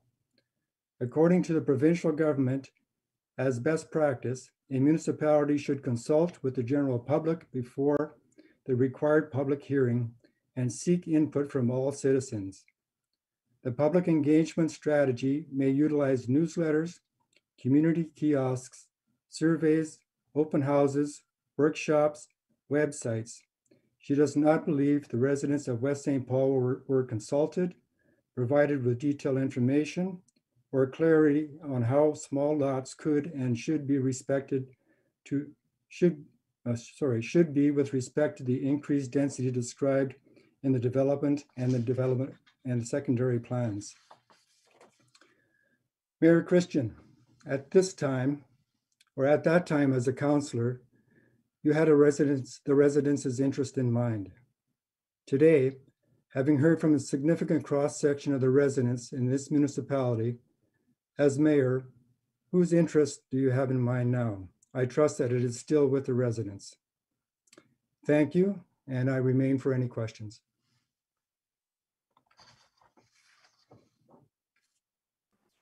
Thank you, Mr. Backer. I'll go around the council table and see if there are questions for you. Councillor Link, any questions for Mr. Backer? No, I don't have questions for Mr. Backer. Just thank you, Mr. Backer. Thank you. Councillor Bichetti, any questions for Mr. Backer?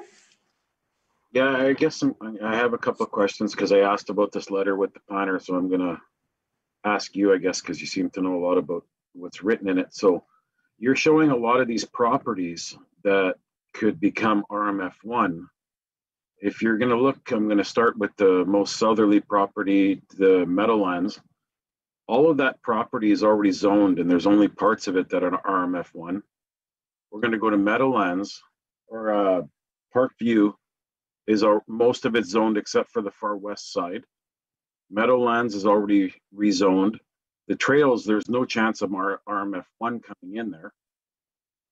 Um, I'm just gonna run through this map here, just so I'm using the same thing. Uh, there was a portion of property, I guess it's just what the developer has showed to residents in the area that they're going for a multifamily use or a single family use in there. So a lot of this is, it's, it's good information that went out to the residents, but a lot of it might have been mm, put out there on your opinion. That's all, that's, I'm gonna try, I'm not trying to be offensive at all. I hope you understand that. It's just, I'm trying to just say that there, there was certain things put in your perspective where if people would have had the opportunity to hear the whole package or see the whole package, the way Mr. Patton has explained it, I think it would explained a lot of questions and not gotten everybody up, you know, a lot of people upset about this. So thanks for your time and thanks for your presentation. If I may- may respond, I believe this is a public hearing and the purpose of this hearing is to be able to hear both sides. And the residents get to, uh, to learn the whole story that way. So yes, it is my personal opinion and, and I have been, I'm entitled to it. Oh, I'm not saying you aren't, I'm just, the letter that went out was a little bit mis, you know, wasn't str- as open as what Mr. Patton had explained to us. So that Well- explained it a lot better. Thank you. Councillor Bassetti, I, I didn't have, an, uh, I have no access to the knowledge of what developments have, have been approved and to what stage they were. Uh, I question how we're getting uh, bungalows side by, side by sides with four foot side yards when the existing uh, zoning bylaw says that they're supposed to have eight foot side yards. How does that work? I'm just questioning what you're looking at, this whole area, every area there, the trails is already a developed to a single family unit. So thank you very much. Thank you. Counselor um, Kleiber, any questions for Mr. Backer? Thank you, Mr. Back, uh, Bucker, for actually, uh, presenting your, uh, your opinions. I think that, uh, you represent a lot of the residents from the letters that I've gone through. Um, I would say that, yes, some of these things have already been zoned, but they've been zoned with, with, uh, the eight-foot side yards. They haven't been zoned with the four-foot side yards. And I think that, you know, for- in my opinion, um, the developers knew that going in when they went for the zoning, so uh, I echo your concerns about um, reducing those side yards because the lots can be increased. They don't have to go for the minimum. So I understand your perspective and I appreciate you coming to council and providing that uh, your perspective and some of the, and I think you represent some of the re- residents as well. So thank you very much. Thank you. Thank you, Counselor Kleiber. Counselor Prague, any questions for Mr. Backer? No question. Thank you. Well, I, I would also like to thank you, Mr. Backer, for your presentation. I do think it's important to have all different viewpoints and opinions, and that's how we uh, that's how we make decisions, and we value your uh, your input and all residents' input. Um, you direct a couple of questions at me, so I, I would answer those um, in talking about um, um, comments that I've made at previous meetings, uh, 2016, when the zoning bylaw was first addressed. And my concerns were very much around public consultations. Uh, my concerns were very much around um, seeking public input, not moving forward without that input. And that especially in areas that are very new and involving multifamily, when our community wasn't familiar with that, yes, I wanted to see some um, significant public consultation. I am very proud to say that um, since this group, uh, this council, myself included, um, were elected two years ago, um, that our public consultation um, has has exceeded expectations, especially uh, around our strategic planning. Um, so I'm very proud of the public consultation that we've done, and many of those comments that you quoted directly from my abstention on this matter um, were the first things that we addressed.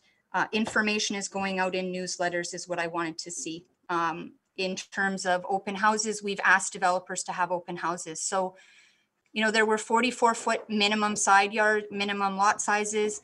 Um, we're approving 60 foot lots. Um, developers came to us and said they wanted to do two story um, side by sides. We said the residents have told us they want bungalows put in 37 uh, bungalows and make sure that it's accessible, make sure that people with disabilities have access to it.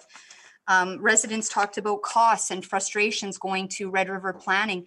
And now these changes are being made um, to limit variance costs for people on something as simple as an air conditioner. Residents told us they don't want to see a community full of rentals. And now we're creating an opportunity that facilitates ownership. Um, residents have said to us that they don't want to see the rural character of West St. Paul diminished. And I couldn't agree more. And so, you know, the area that we're looking at for RMF1 is less than 1% of our community. uh, I could not agree with you more, Mr. Backer. We need to maintain the rural feel of our community. The reality is we have these areas, and maybe I'll ask you to pull that up again, Mr. Patton, where these are approved uh, by a previous council, the majority of them, some of them, one of one area is approved by us, um, where there isn't the uncertainty that you're talking about. And I can fully appreciate concerns about uncertainty. And, and I hope that tonight, what the planner has presented and the information that residents are hearing really addresses that uncertainty and, and yours, because I, I don't like people feeling what is happening in our community. We create plans for a reason. So, you know, is this going to impact the trails? Those houses are done. Um, that's finished. That's a housing development. Um, the area of meadows, that's done. Um, majority of that's approved by previous council. We know exactly what's going in there. There's a very small RMF area within there. Uh, Parkview Point, um, they've they've changed their plans to accommodate council to hear the feedback that they got from from residents. There's a very small portion of RMF one in that. Uh, Baldock uh, is highlighted in here. That multifamily is completed. Um, so there is future and especially by where you're located. I can understand the concerns for that. Um, but to make, to have residents feel that our community is somehow going high density and that we're losing the rural feel, um, the data doesn't support it. You can see the map. Um, and, and this council has a strategic plan that we've heard. So, um, you know, I, I can only reassure residents that what we're looking at before us now and, and the strategic plan that we have will guide our decision making in the future. Um, but in terms of listening to residents and engaging them, absolutely 100%. I want to make sure that we're addressing their concerns. Um, not making this like city. Uh, the planner's gone through that, making sure that our multifamily is not a city of Winnipeg uh, multifamily. So I, I absolutely 100% appreciate the concerns that you're raising. I'm glad that you came tonight and presented, and I'm glad residents are having conversations about this.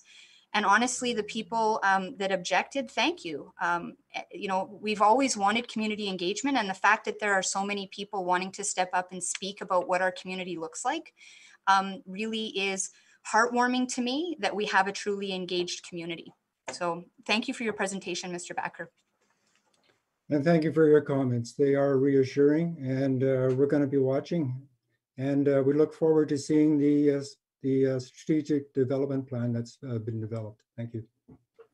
Thank you. Ms. Elias, have we got anyone else registered um, to speak uh, in opposition?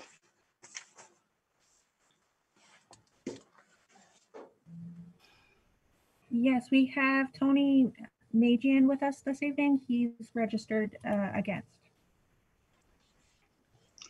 Okay, let's do a sound check. We're good? We can hear you. Welcome to our meeting. Okay, first of all, many thanks to, to yourself and all the counselors for allowing me to speak. Uh, unlike Mr. Backer, I do not know everybody else's who is there, but I will say thank you. Uh, I'm going to put a smile on all your faces. It's been a very long evening, and I'm going to be brief, two or three minutes. So uh, let's see those smiles. I am what you'd call a relative newbie to West St. Paul, having moved here eight years ago. It has been everything I could have hoped for and more. My only regret is I didn't move here 40 years ago. I wish to go on record as opposing this continued rapid development that we have witnessed in the past few years, especially this amendment to reduce the interior side yard from eight feet to four feet. Most of us moved to West St. Paul to escape the high density of Winnipeg housing which it now appears is happening here. We are seeing large developments with everything from townhouses to single family to apartment blocks. Mr. Patton made many references to it doesn't increase overall density. Um, I don't have a university degree, but if you gain four feet, four feet per side, that equals eight feet per building. Three buildings would allow an extra building on the 24 foot gained. I assume how that eight feet is used is up to the developer. Uh, I believe it was also stated that there are currently six RMF1 zones. I also believe it was stated that more could apply for this classification. So while it is currently less than 1%, that could increase. We are setting precedent here. Minimum lot size is 24 feet. That is minimum. developers could increase lot size. Let's leave the twenty-four foot lots and four foot side yards in Winnipeg. My final thought. uh, Yep, here we go. Developers could, if they so choose, apply individually for a variance. But We can't go the other way. If we change it to four, we don't make the variance for eight. Thank you. I hope I was brief. Thank you very much. I know it's not easy to present to council. You were great. Thank you. I'm going to go around the council table, see if there's any questions for you. Counselor Link, any questions? No, I have no questions, but I appreciate your comments. Thank you. Thank you. Counselor Bichetti, any questions? No comments. Thank you for your time. Thank you. Counselor Kleiber, any questions? No, thank you. I think you've expressed um, uh, some good points. Thank you very much. Thank you. And Counselor Prague, any questions? Oh, you're You- still on mute. No questions. Thank you very much, Tony. Thank you all. Yep, I, I want to thank you as well, Tony, for coming to speak to us. And, uh, and you mentioned you're a newbie to West St. Paul. Thank you for choosing West St. Paul, and we want to make sure that you still enjoy living in West St. Paul. Like I say, I wish I'd moved here forty years ago. So do we. Thank you for coming tonight. Miss Elias, have we got anyone reg, anyone else registered to speak to council in opposition? No one else registered to speak this evening, but we do have a number of people who submitted um, letters uh, against the application. Um, We have Michael Perilli, Lee McDonald, Michael Coates, Carrie Caldwell, Marissa Coates, Maya Coates, Mark and Misha Korpel, Korpelnov, Carla, Caitlin, and Curtis Link. Frank, Sherry, Jordan, Giancola, Mary Profeta Toker, and Lou Profeta, Haley Moose, and Reed Lilies, Larry and Marilyn Petruska, Harv and Donnie, Donna Mock, Jack and Valerie Musgrove, Paul Adams, Gloria and Glenn Heft, Paul Robbins and Colleen Kachulik, Darren Saf- Safchi, Dana Shafchi, Allison Ritchie, Elaine Vay, Jay Parkinson, Manuel Borges and Kennedy Gallant, Harvey Dan, Darlene Backhouse and Peter Allerton, H. Moore, B. Verhowski. Uh, we have Mike Bacani, Tom and Marlene Eschuk, Albert and Jana Drohom- Drohomersky, Trella Blanco, Michael and Terry Ward, Wayne and Wendy Marks, Kathy Puzio, Kevin, Judy, Alexa, and Kevin Tyndall, Alan Grinham, R. Lebendowski, George and Linda Penner, Ihor Patricki, Stephen Park, Russ and Chelsea Johnson, Denise Hudson, Kim Cover, Liz Cooper, Michael Alberg, Greg and Courtney Morris. Uh, we have William and Travis Mowat, Tess Gutierre, Jennifer Schultz, Ed and Renata Drahowski, Lloyd Vermeulen, Elfin Kathy Platts, Patricia Le- Leverick, Larry Schultz, Corey and Tammy Flett, Gerald and Diana Duvall, Barbara and Risegard Golinsky, Nick and Amy Johnson, Grant Leverick, Ryan Keene and Mar- uh, Margaret Keene, Deanne Doney, Jamie and Rob Linkletter, George Glatz, Pete Thiessen, Brandon Leverick, Yvonne and Lezak Sarzinski,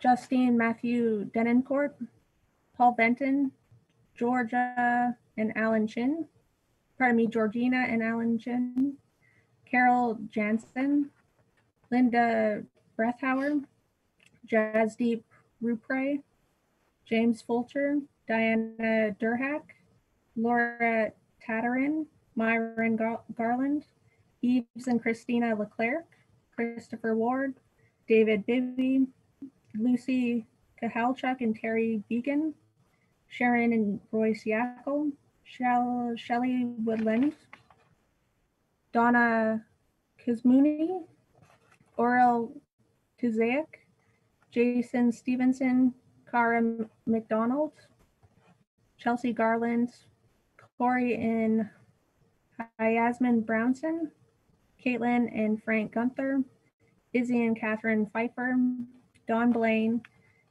Ernie Clone, Michelle and Chris Kippen, Norma Alberg, Cindy and Daniel Shields, uh, Laura and Iris Brownson, Ron Clan, Brandon Clan, Magdalene Dzurko Bodnick, Darren Zacharu, Janet Thiessen, Cindy and Zenon Klazozak, Michelle Taylor, Judith Topolninsky and Lauren, um, Kyle Small, Les and Lois Walters, Walterson, Joanne Baker, Daniel Shields, Tom Shuch- Shuchuk, Peter Trujan. Um, all of those submitted uh, uh, letters that were provided to council earlier. Um, we also received a, a few letters later on this evening. In uh, in against this application, we have Stan and Sue mm, Her Herchu, probably pronouncing that incorrectly. We also have Carrie and Ron Carinu.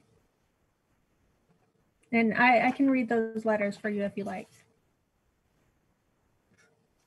Yes, please, sure.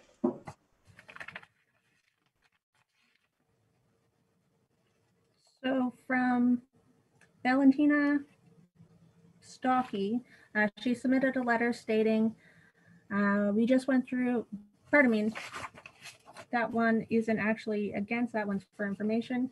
Uh, from Sue, Sue and Stan, uh, they noted, uh, we would like to register our opposition to these bylaw amendments.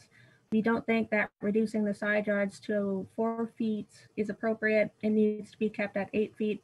There is no room to do anything and it looks like the houses are on top of one another and it devalues the adjoining properties. Thanks for letting us have our opinion count. We also received a letter uh, late this evening from Martin and Darlene. Um, they are registered for information. Sorry, they are opposed. Um, they feel that reducing the size of the building lots goes against the original plans of what West St. Paul should look like. We do not live in the city of Winnipeg. We choose to build here because of the bigger lot sizes. We would like to preserve the original intentions of what West St. Paul is all about.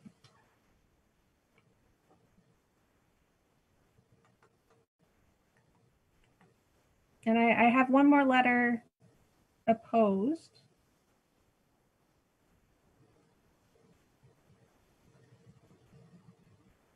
Uh, from Ron and Carrie, I just moved to West St. Paul to get away from all the infill houses, housing and row housing.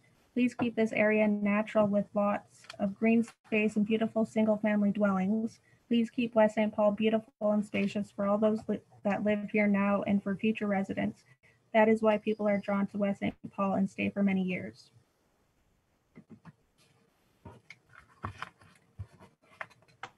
In addition, we did receive uh, a couple of people for information. One submitted a letter later this evening after the um, package of emails were sent out to council. Um, this one's from Valentine Stocky.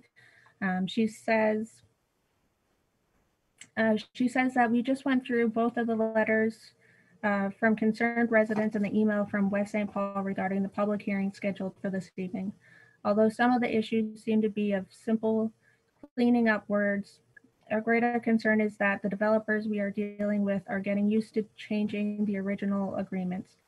We noticed that in previous meetings, at least one member of council asked if a developer's representative would agree verbally to planting more trees in the future between the property slated for development and the new homes being built at the rear. As expected, the re- represented replied that they would.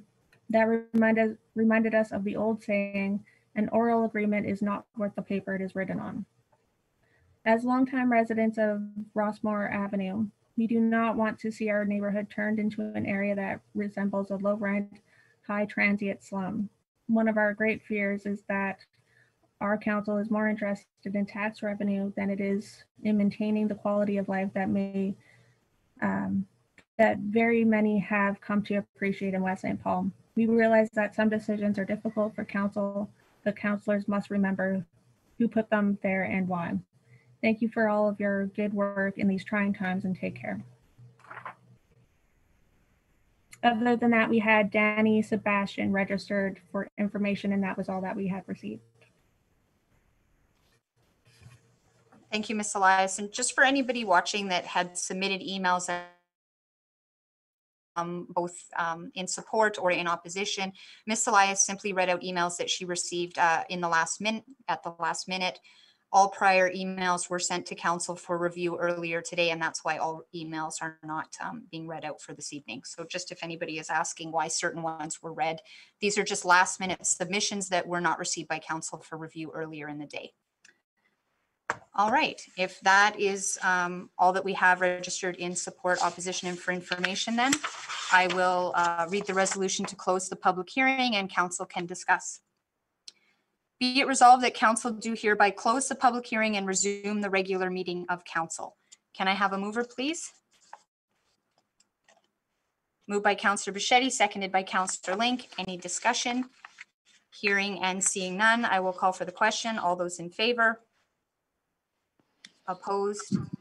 Oh, sorry, Councillor Kleiber. In favor? Thanks. Opposed, and that is carried. Thank you. I will read the resolution, 5.23, second reading of zoning bylaw 2020-15P, and then we can discuss as a council.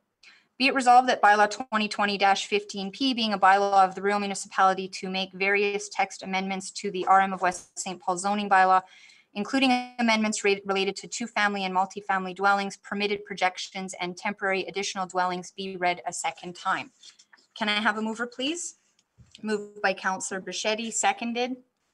Councillor Parag, thank you. And I'll just go around the table. I'm sure we're going to have discussion. I'll start. Councillor Link, um, any, any comments for discussion? Sure, I'm, I'm just sorry that this came to us in such a big package. Look how long this public hearing took. There was too much together, and I'm sorry, there's parts of this bylaw, if they were separate, I would approve. But there's parts that I feel strongly that I will not approve. Um, I think it's, uh, I don't know why it's funny, but uh, uh, I think it's a little, it's too much, too many things put together. Perhaps, uh, that's all I want to say.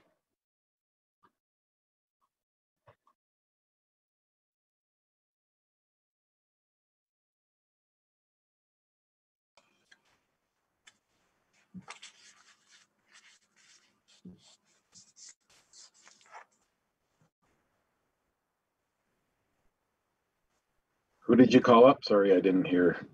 Sorry, I think I called you up. Okay, Councillor no, Bichetti. sorry, I just froze out for a second. No, no comments, thanks. Thank you. Councillor Kleiber, any comments for discussion on the bylaw? Well, first, I'd like to say like a recorded vote on this second um, bylaw reading. Um, I guess the, the thing that I, I have a few concerns. One of them is that this wasn't circulated to our fire department.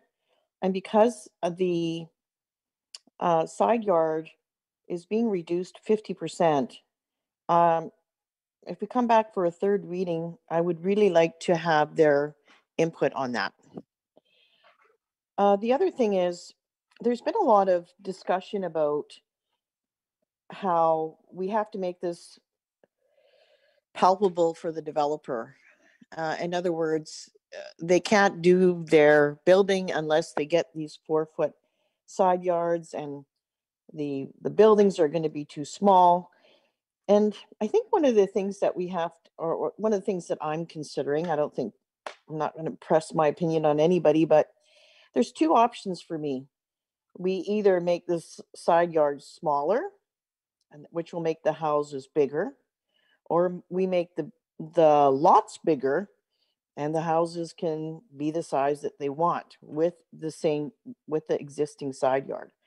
So the argument for me to say, well, I need a bigger side yard so I can put a bigger house on it is not necessarily convincing me because I feel that you could also exceed the minimum lot size of 24 feet and still have a nice duplex on that property. So that's sort of my opinion. Uh, I think this four, four foot side yard increases the footprint considerably and will increase the footprint. And I think that's where the residents are coming from when they talk about density issues. Um, the closer the buildings, the bigger the, then the bigger the house becomes bigger. And so the lot is engulfed with building rather than any, uh, any lot.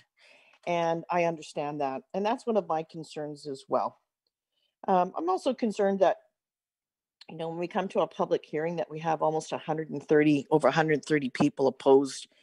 Um, that speaks volumes to me that um, residents are paying attention and they're not, uh, they're not very happy with uh, that particular amendment. Some of the other amendments are fine. Some of the other amendments I don't have issue with. But that one in particular, uh, I'm concerned about. That's it. Thank you. Thank you, Councillor Kleiber. Councillor Prague, any comments for discussion? No comment. Thank you. Um, I, I think tonight's public hearing was excellent. My, my comments, um, you know, I can appreciate the concerns that residents have brought forward about keeping West St. Paul rural. I, I share those concerns and comments.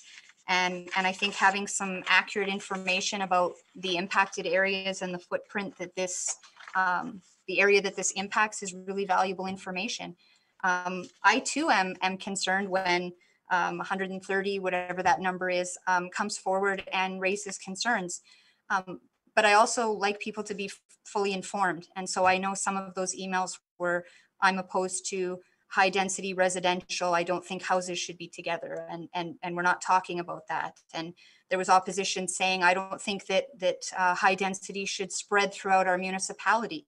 Um, I think every member of council at this table agrees with that comment. Um, so having less than 1% of our municipality be an area where there's different housing options um, and recognizing that we are a rural municipality, um, very reasonable. Um, you know, these are very challenging decisions that council is asked to make. Um, a lot of these development areas were approved before our time.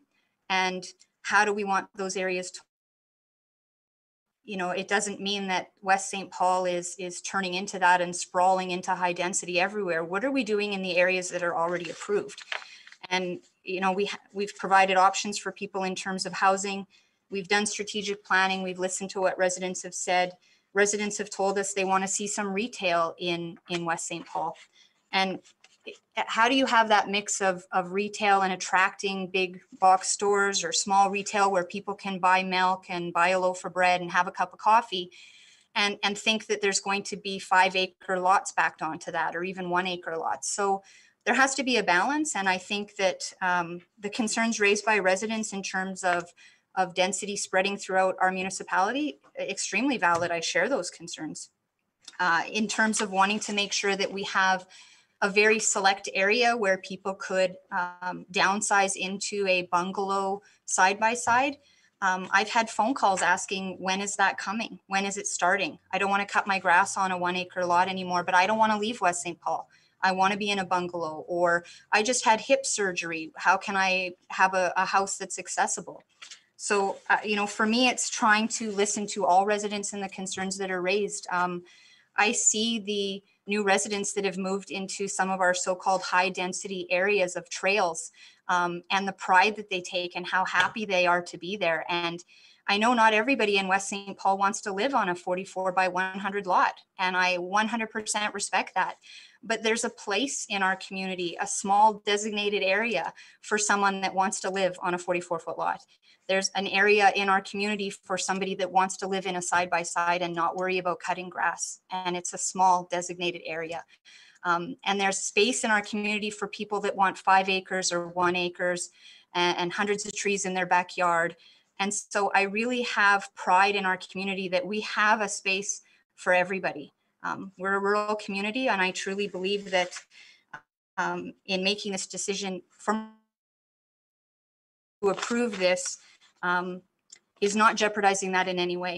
That this is less than one percent of our municipality, uh, and I see the pride in, in in people who are living in these.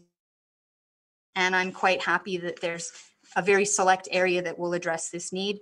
I'm also excited to see some retail coming. And, and what I've heard from residents through strategic planning is they are too. So those are things I'm excited about. Like other council members that have mentioned, um, the other changes are just really important. Residents save money at Red River Planning. It'll be less income for you guys at Red River Planning, but I'm proud to support those so that uh, air conditioners and things that are very straightforward, our residents are not having to pay for that. Um, other things facilitate ownership versus rental. We've heard from many residents that have said, uh, we don't want to see a whole bunch of rentals. We want to see ownership. Um, these changes facilitate that, and I'm happy about that. Um, I, I do think in other communities, the point's been raised about, you know, just have larger lots and build smaller homes. But in neighboring communities, we don't see that. So we see in East St. Paul country estates, and they created larger lots, and what came was larger houses on those lots. So I'm not necessarily sure and convinced that if we just say we want to see larger lot sizes, and I'm I'm by no means a strong advocate of tiny lot sizes. Um, we, we've made decisions as this council on, on not approving 44 foot lots and moving more towards 60 and, and different sizes. But that creating larger lots, does that actually mean that it is going to be a tiny footprint on there? And, and the evidence from rural municipalities around us, I'm not seeing that. I'm seeing larger homes go up and still take up a large area on those lots. So um, for me, I'm, I'm comfortable and confident that, that um, the concerns that a lot of residents raised with limited information and residents talking to each other, which is great that they're engaged. Um, I'm hoping tonight's presentation really clarifies a lot of uh, misconceptions about what is going on here and, and, and what an approval of this means. I definitely value everybody's opinion. Those are my Mayor comments. Christian, Mayor Christian, could you clarify a point for me? Sure. Um, you said that this bylaw guarantees ownership versus rental. Where in the bylaw does it, does it, uh, do that? I'm just wondering, I, I I- I can't didn't- find that. Yeah, I didn't say cl- that it guarantees ownership. The planner was talking about um,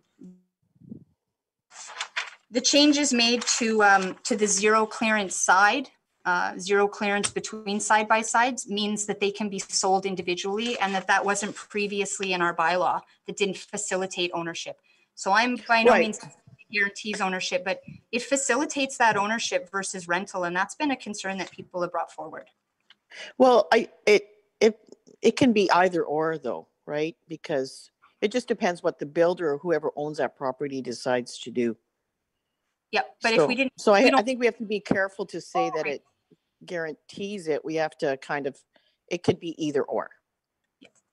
Oh, I, I'm not saying it guarantees it, but if we don't make that change, that's not an option. The ownership is not an option because it, it's not allowing separate titles.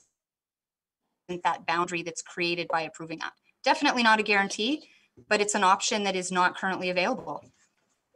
So uh, back to the planner then, are, um, is what, okay, so I'm a little confused. So with an eight foot side yard, uh, people aren't allowed to have a separate title?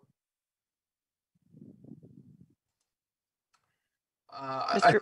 There's two different amendments um, that are being confused here. Um, So the eight-foot side yard uh, becoming a four-foot side yard in the RMF one zone, that's a separate uh, amendment. The amendment that um, that uh, that I mentioned would facilitate uh, home ownership um, is the amendment that would allow for zero-foot side yards um, where there's a shared uh, wall along the property. Right, right. So it- like a row housing, right? Like row housing, exactly. Okay. Yeah, sorry, I, sorry for the confusion. I was confused how the four foot side yard re- would, would facilitate ownership or, uh, so, okay, thank you. So we're talking about the expanse of the bylaw. So thank you very much for that clarification.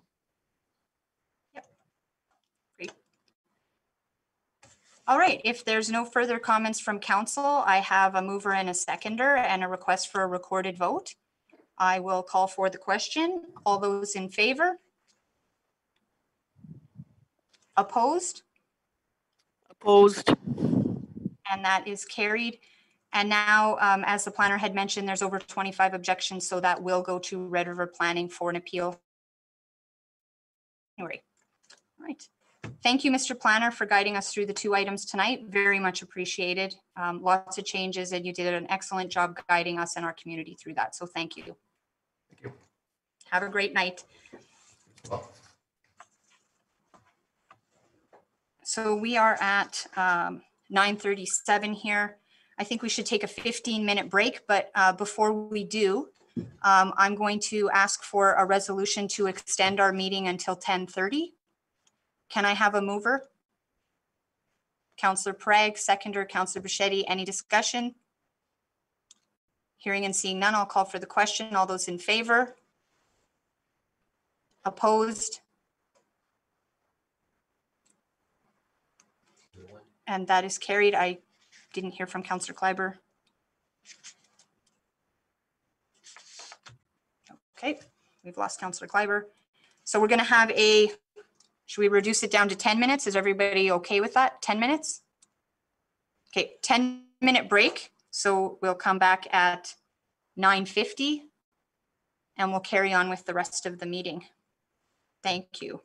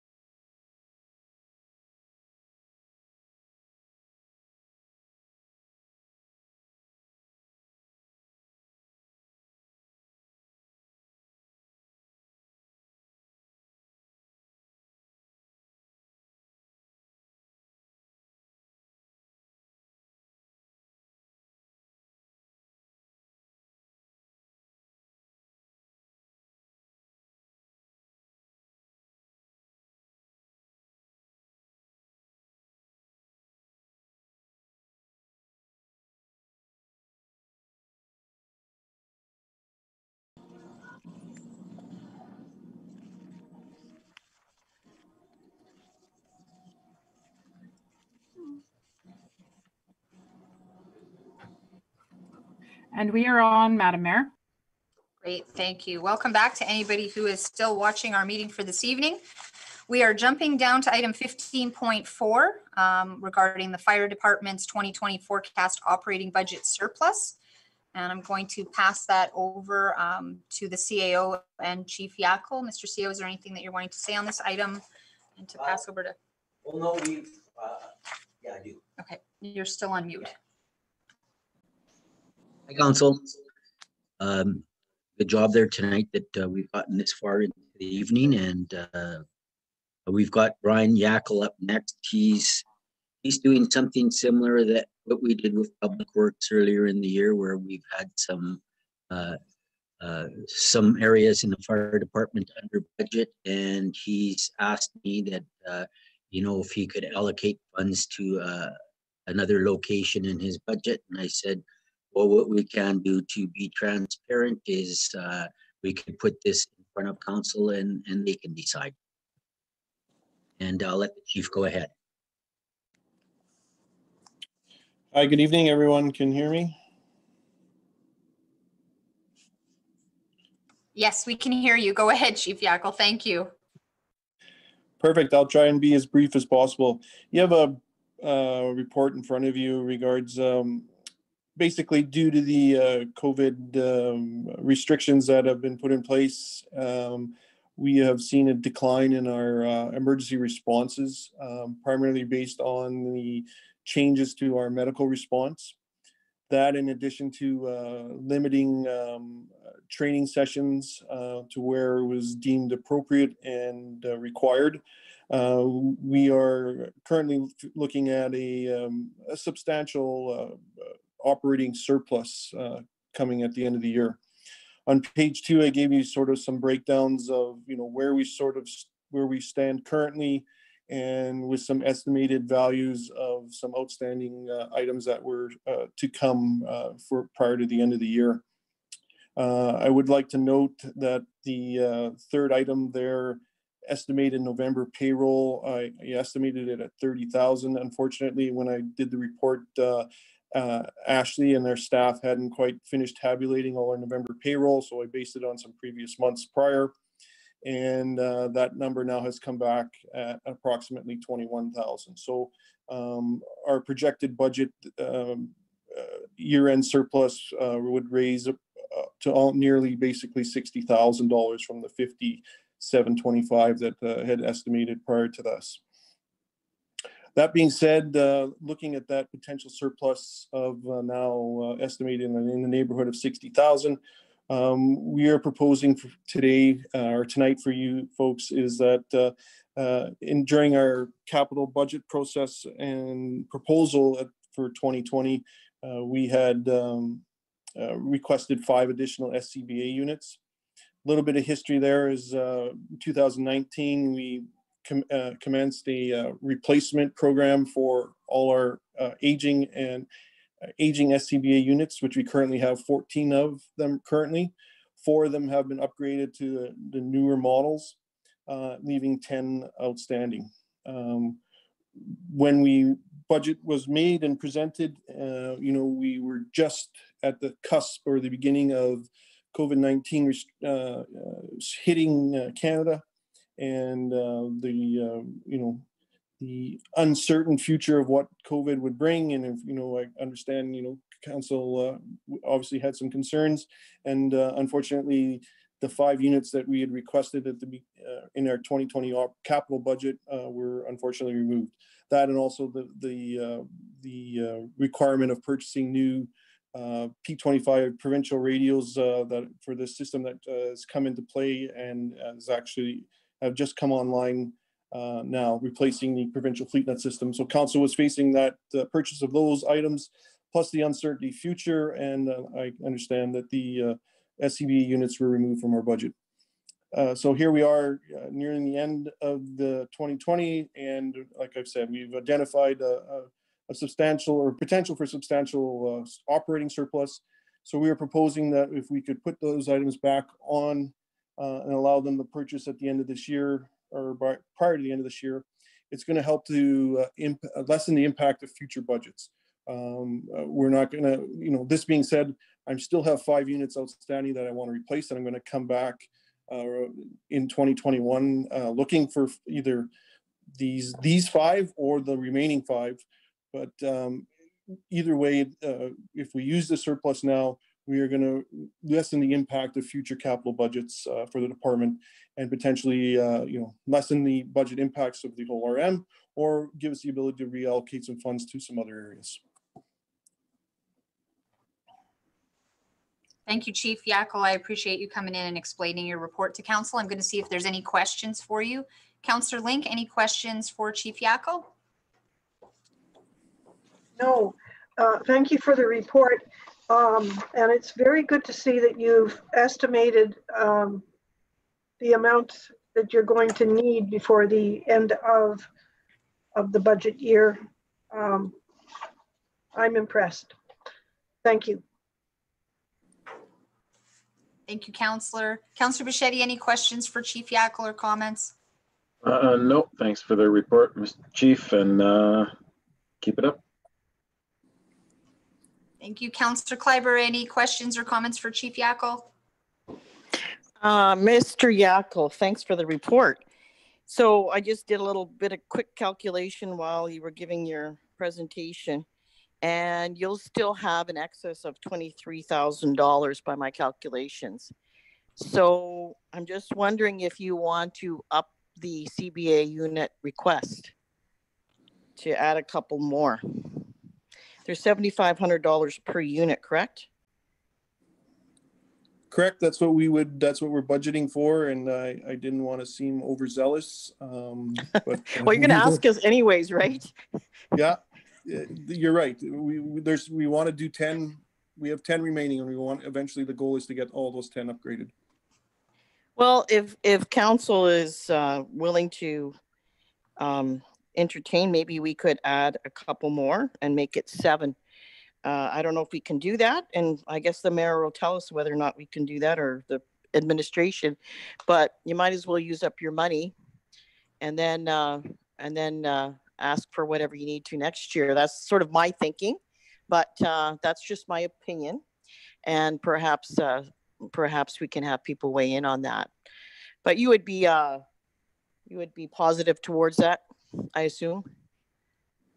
Absolutely. Okay, thank you, thank you. I'll just follow up uh, with our CAO on that and, and, and see if that's any issue from that end. I'm not sure that any counselors have concerns of that, if that's not money that's going to be allocated for something else. Mr. CAO, do you want to weigh in on that? Yeah, I think that maybe we could, uh, uh, we could uh, give the okay to go ahead with this, uh, tonight for the, for the extra units. And then I could just check in with Ryan and we could, uh, make a decision. I would like to be a little bit conservative on this. I, I wouldn't want to be cutting it close, but, uh, uh, we could, uh, uh, uh, make sure that the budget is going to be good. And if you wanted to add a couple additional, units, fine, yeah. Thank you, Mr. CAO. Counselor Prague, any, any comments, questions for the chief? Chief. That's why you're the chief, I guess. Thanks for thinking ahead and moving forward and um, putting the money, the excess funds in good use. And if we can have more units with that money, then let's go ahead with it. And thank you again for thinking ahead. Thank you. I, I agree um, with the counselors. I think it's great. Your um, information to council was great, makes it easy for us to make a decision. Um, Coming in under budget, it's COVID related, but um, there's safety concerns um, here and having additional tanks, I think that's great. So if, if council is willing, we would um, read the resolution and approve that and have a follow-up with the CAO regarding it just to make sure that they review um, the information and that can come back to council for additional tanks. Would that be something council is willing to do? Councillor Link, go ahead. You're still on mute? Could we not go ahead uh, with the resolution? uh, If, if, if the units are around 7,500, uh, that puts them at about 52,500 plus taxes. Why don't we make the resolution for that? to just get it over with. I'm agreeing, uh, I, I'm fully uh, agreeable to the extra two units. So I guess just a- question for Chief Yackle, do you anticipate any other costs coming your way between, within your budget? No, and I, and I didn't speak to this point also that, um, uh, with it being December tenth today, we've only, this, today we received our first, uh, ins- emergency incident for December. So our, my potential estimated December payroll, uh, you know, might be, you know, could be, uh, over, a little overzealous also. We know that can change and we could have some major incidents, but, um, I'm, uh, really confident on the numbers uh, that are before you, um, especially with the redu- reduction from our November payroll and what December has started out to look like. Okay, so barring no emergencies, major emergencies, we're still gonna be under budget. Absolutely. Okay. And if it's major emergencies, we're coming to you to pay for it, Mrs. Chief Yackle. Sure, put it on my taxes. If you're that confident, okay. Any um, tanks would that be for adding to the resolution then? I'm just looking at the resolution. So the resolution reads. I believe that would be an update from, from five to seven um, SCBA's. Perfect. Thank you, Ms. Shaw. Everyone okay that I read that resolution? To up, the update from five to seven? Yes, I'm okay. Could I make a, co- Go ahead. uh, uh, could we add at a cost of approximately 52,500 plus taxes? Then we've got to figure, it's there, it's approximate. I don't have a concern with that. Anybody have a concern with that? If it's off, we have to go change this again. If we just say No, it's seven, Approximate, it's approximate.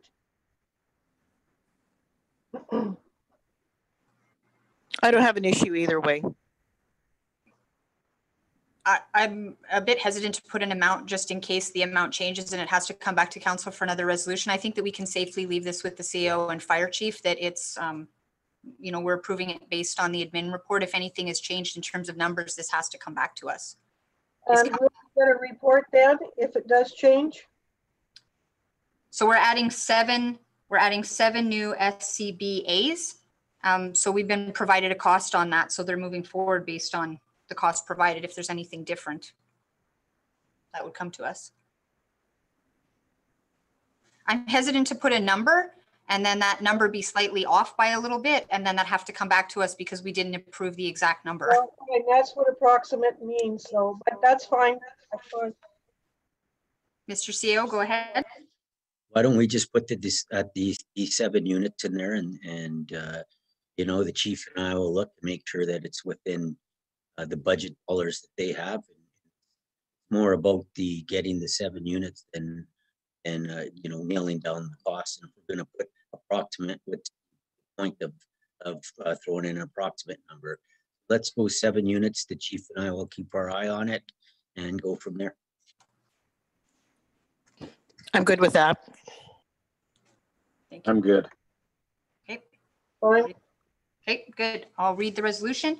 Be it resolved that the council of the Rural Municipality of West St. Paul authorizes the fire chief to use 2020 projected operating budget surplus to purchase seven new SCBA's. Please. Moved by Counselor Prague, seconded by Counselor Bichetti. Any discussion? Hearing and seeing none, uh, I will call for the question. All those in favor? In favor?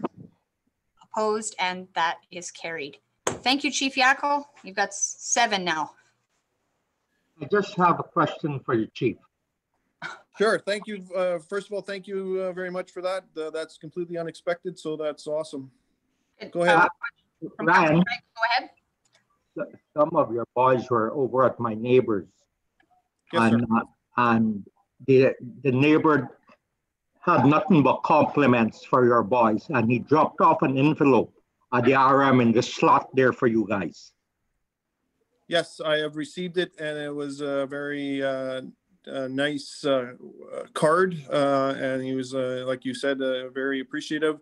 And uh, it also included a donation. So I'm I um, intend on speaking with the CEO on uh, regards on what we to do with that because that's um, something we normally don't see. So it was uh, very, very uh, welcome or very, very unexpected, and uh, we're just like we do every time. We're we're just here to help. Both him and his wife, they phoned the next day. I phoned the next day to see how he was doing. And they had nothing but accolades for you guys. You guys and the guys from the ambulance service. And I just want you to extend that to the boys for me. Thank you, and uh, yes, definitely we'll uh, read out the card uh, to the to the entire membership uh, this Monday night. Thank you, Ryan. Wonderful. Thank you, Chief Yackel. Thank you all. Have a great night. You too.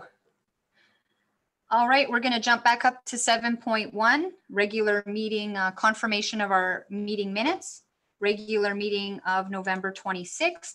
Be it resolved that the meeting, the minutes of the regular meeting of council held on November 26, 2020 be approved. Can I have a mover, please? Moved by Councillor Prague, seconded Councillor Link. Any discussion? Hearing and seeing none, I'll call for the question. All those in favor?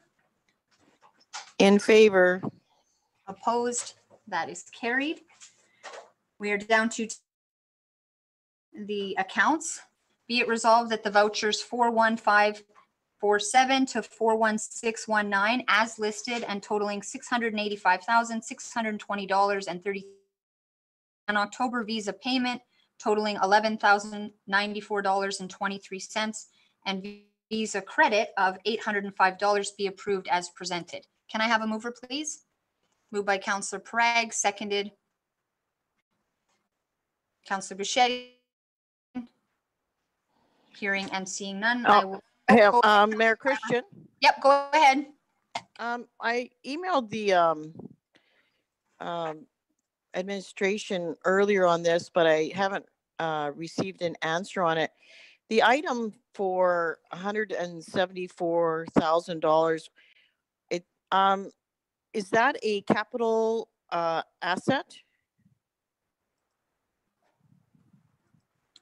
I'm not Is it sure. part of our budget? I know it I'm not must be a capital asset. I'm just wondering if it's part of the budget. Did we budget for that item? Is that for the the truck? Is that for the truck, Counselor Clyburn? Yeah, for the big truck there. Yes, yep. That was approved at Okay. budget, absolutely. Okay, so it was just, it was just bought late in the year then? What happened is it, You're not on, sorry. what happened, that was, uh, that was on our budget table one year and we only budgeted hundred and ten thousand dollars or hundred thousand dollars. And it came in at hundred and sixty. It came, uh, uh, I think approximately hundred and sixty or hundred and sixty-five thousand. It came back to us and, uh, and, and this year council said, yeah, let's, let's spend the money. It takes quite a while for that, uh, that vehicle to get done because you had to buy a, a chassis and then it's got a crane on it and, and things like this. And it's in as a, a capital asset. Uh, we had a question that we were over budget, but we weren't. We had, uh, we, when we budget, we don't budget for the GST, but we have to pay it when we pay the bill. And then we Yeah. recover the, the GST. The municipalities don't have to pay GST on purchases like this. And, uh, Right. yeah, so it's a, it's a, an asset from the capital budget that was budgeted in the capital budget. But a portion of it wasn't. There was a portion, uh, I think, just under two thousand dollars. I don't have it in front of me. That were safety, uh, features that they, they wanted. So, uh, one was a less slippery service surface on, the on the running boards. And I think the other thing was, uh, some extra duty swivel rings. And that they bought that out of their, their, uh, current operating. Okay, so, uh, when you, when we see the payment register, it's, it's, uh, it's including every, we're not getting the, it, the GST isn't in and out anyways, right?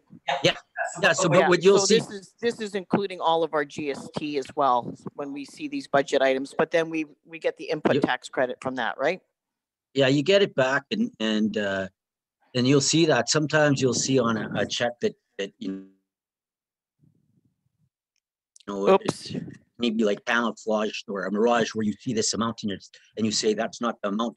But uh, you know, there may be more than, than uh, one purchase on that check, right? So uh, you may Okay. purchase something and it would have been three different purchases, but it all goes on one check. And in this case, there was a couple of operating budget purchases that, you know, safety concerns that the, uh, the crew said, you know, we, we think we should get this. They had money in their budget and they bought it and then they both went on, on, you know, on the one check. It, it happens with, uh, uh, you know, with other purchases we do.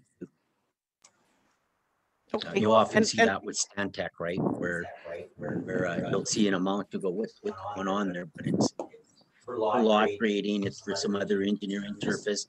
It would be there for, um, a developer, you, you, you, you, you, we, we pay Stantec for work they do on a developer and then we recover it back from the developer after rating.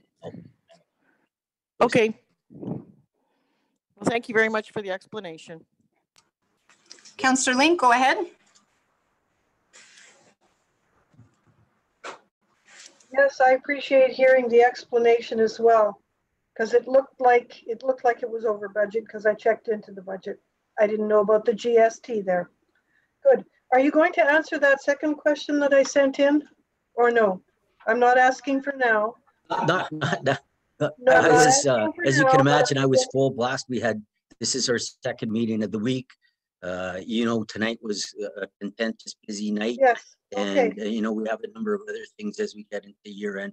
So it's been busy times. I so I thought the question on Forward to it in the uh. Counselor Link was, was a really good question and I, I didn't mind answering that all. I've got a couple of questions to ask on the, or answer on the check register that I'll be working on in the next couple of days. Uh, just having a chance for a, you know, breath of relief, uh, uh, tomorrow sometimes that I'll get at them. Sure, we all need a breath of relief. I appreciate that. I'll look forward to the answer to the second question in the future. Thanks. All right, I've got a mover and a seconder. If There's no further questions. I'll call for the question. All those in favor? Opposed? Sorry, Counselor Kleiber. I'll wait for. In to click. favor. Thank you. And nobody opposed, and that is carried. Thank you. We are down to the CAO reports. And I will read the resolution and then we can just see if there's any questions. Be it resolved that the Council of the Rural Municipality of West St. Paul accept the CAO report. Can I have a mover, please? Moved by Councillor Pereg, seconded. Councillor Bichetti.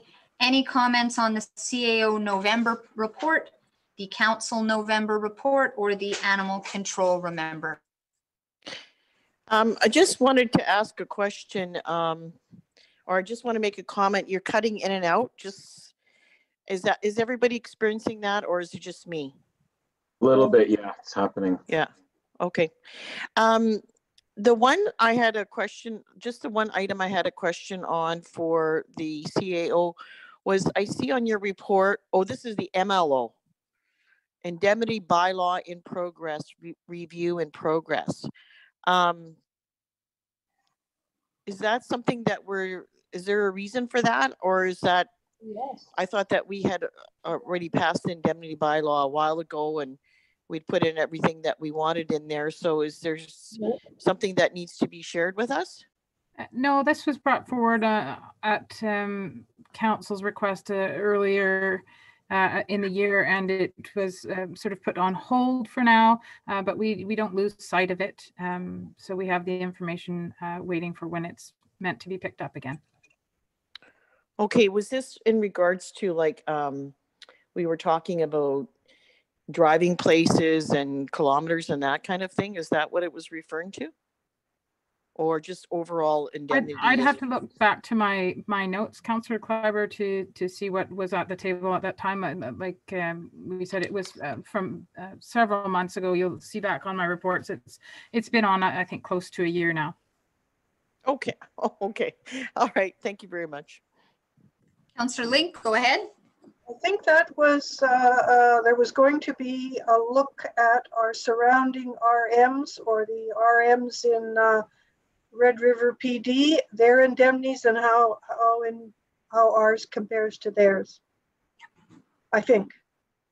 That's what I have in my notes as well. Counselor Link, I don't have anything in front of me, but there was going to be a comparison. For anybody watching, we are among the lowest, if not the lowest, in terms of indemnity for council members in the region. Um, We didn't hardly increase uh, or do anything to our indemnity. So it'll be very interesting when we get to a stage where we can compare to other municipalities. We're aware of some of them, but yeah, uh, the- I'm, top priority hasn't been uh, council indemnities. Residents should be happy to know that. So that's been uh, pushed as we deal with important issues. Any other questions, comments on any of the reports? Hearing and seeing none, I will call for the question. All those in favor? In favor, Opposed, and that is carried. Thank you. We're on item fourteen point one, miscellaneous correspondence for the month of November. Be it resolved that council of the Rural Municipality of West St. Paul accept the miscellaneous correspondence for the month of November as information. Can I have a mover, please? Moved by Counselor Prague, seconded. I'll second something today if you want. There we go. Seconder, Counselor Kleiber. Any discussion on the miscellaneous correspondence attached? Counselor Link?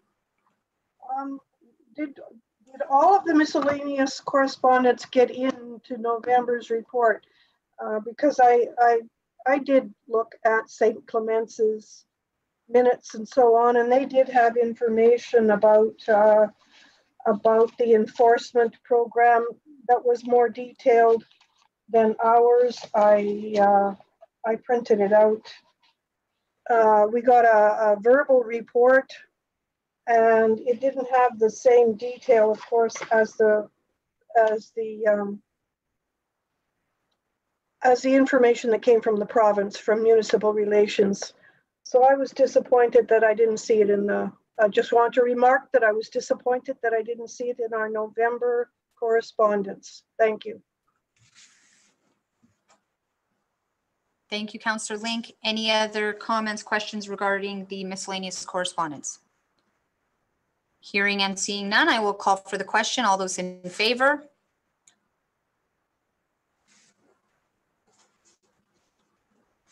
I'm in favor. Thank you. Thank you. Opposed, and that is carried. Uh, We have 15.1, our miscellaneous meeting dates. I will read the resolution. Be it resolved that the Council of the Rural Municipality of West St. Paul authorize attendance at the following meetings as listed. Can I have a mover, please? Moved by Counselor Prague, seconded Counselor Bichetti. Any discussion on the miscellaneous meeting dates? Counselor Link, go ahead. I didn't see your video with, uh, that you put out, Mayor Christian, I'm sorry. How can I access the November 8th video? 'Cause I didn't see it, that it was online. Um, it was on the website and then, uh, the Remembrance Day video. Well, I'm sure it must have been. I didn't see it. I, I saw just the, the, the write-up. I'd have to look back. I can send you a link. I'd have to look back. We've been doing a lot of videos. it wasn't included in a, an email blast, hey? Uh, It would have been. Yeah. I can, edit Because I, I get all those and I didn't notice it, so. I would Ms. appreciate it because I'd like to see it. Yeah, absolutely. It was sent out by email blast um, prior to November 11th. Okay, I think it was in a package with, um, the MP did a video, the MLA did a video, myself.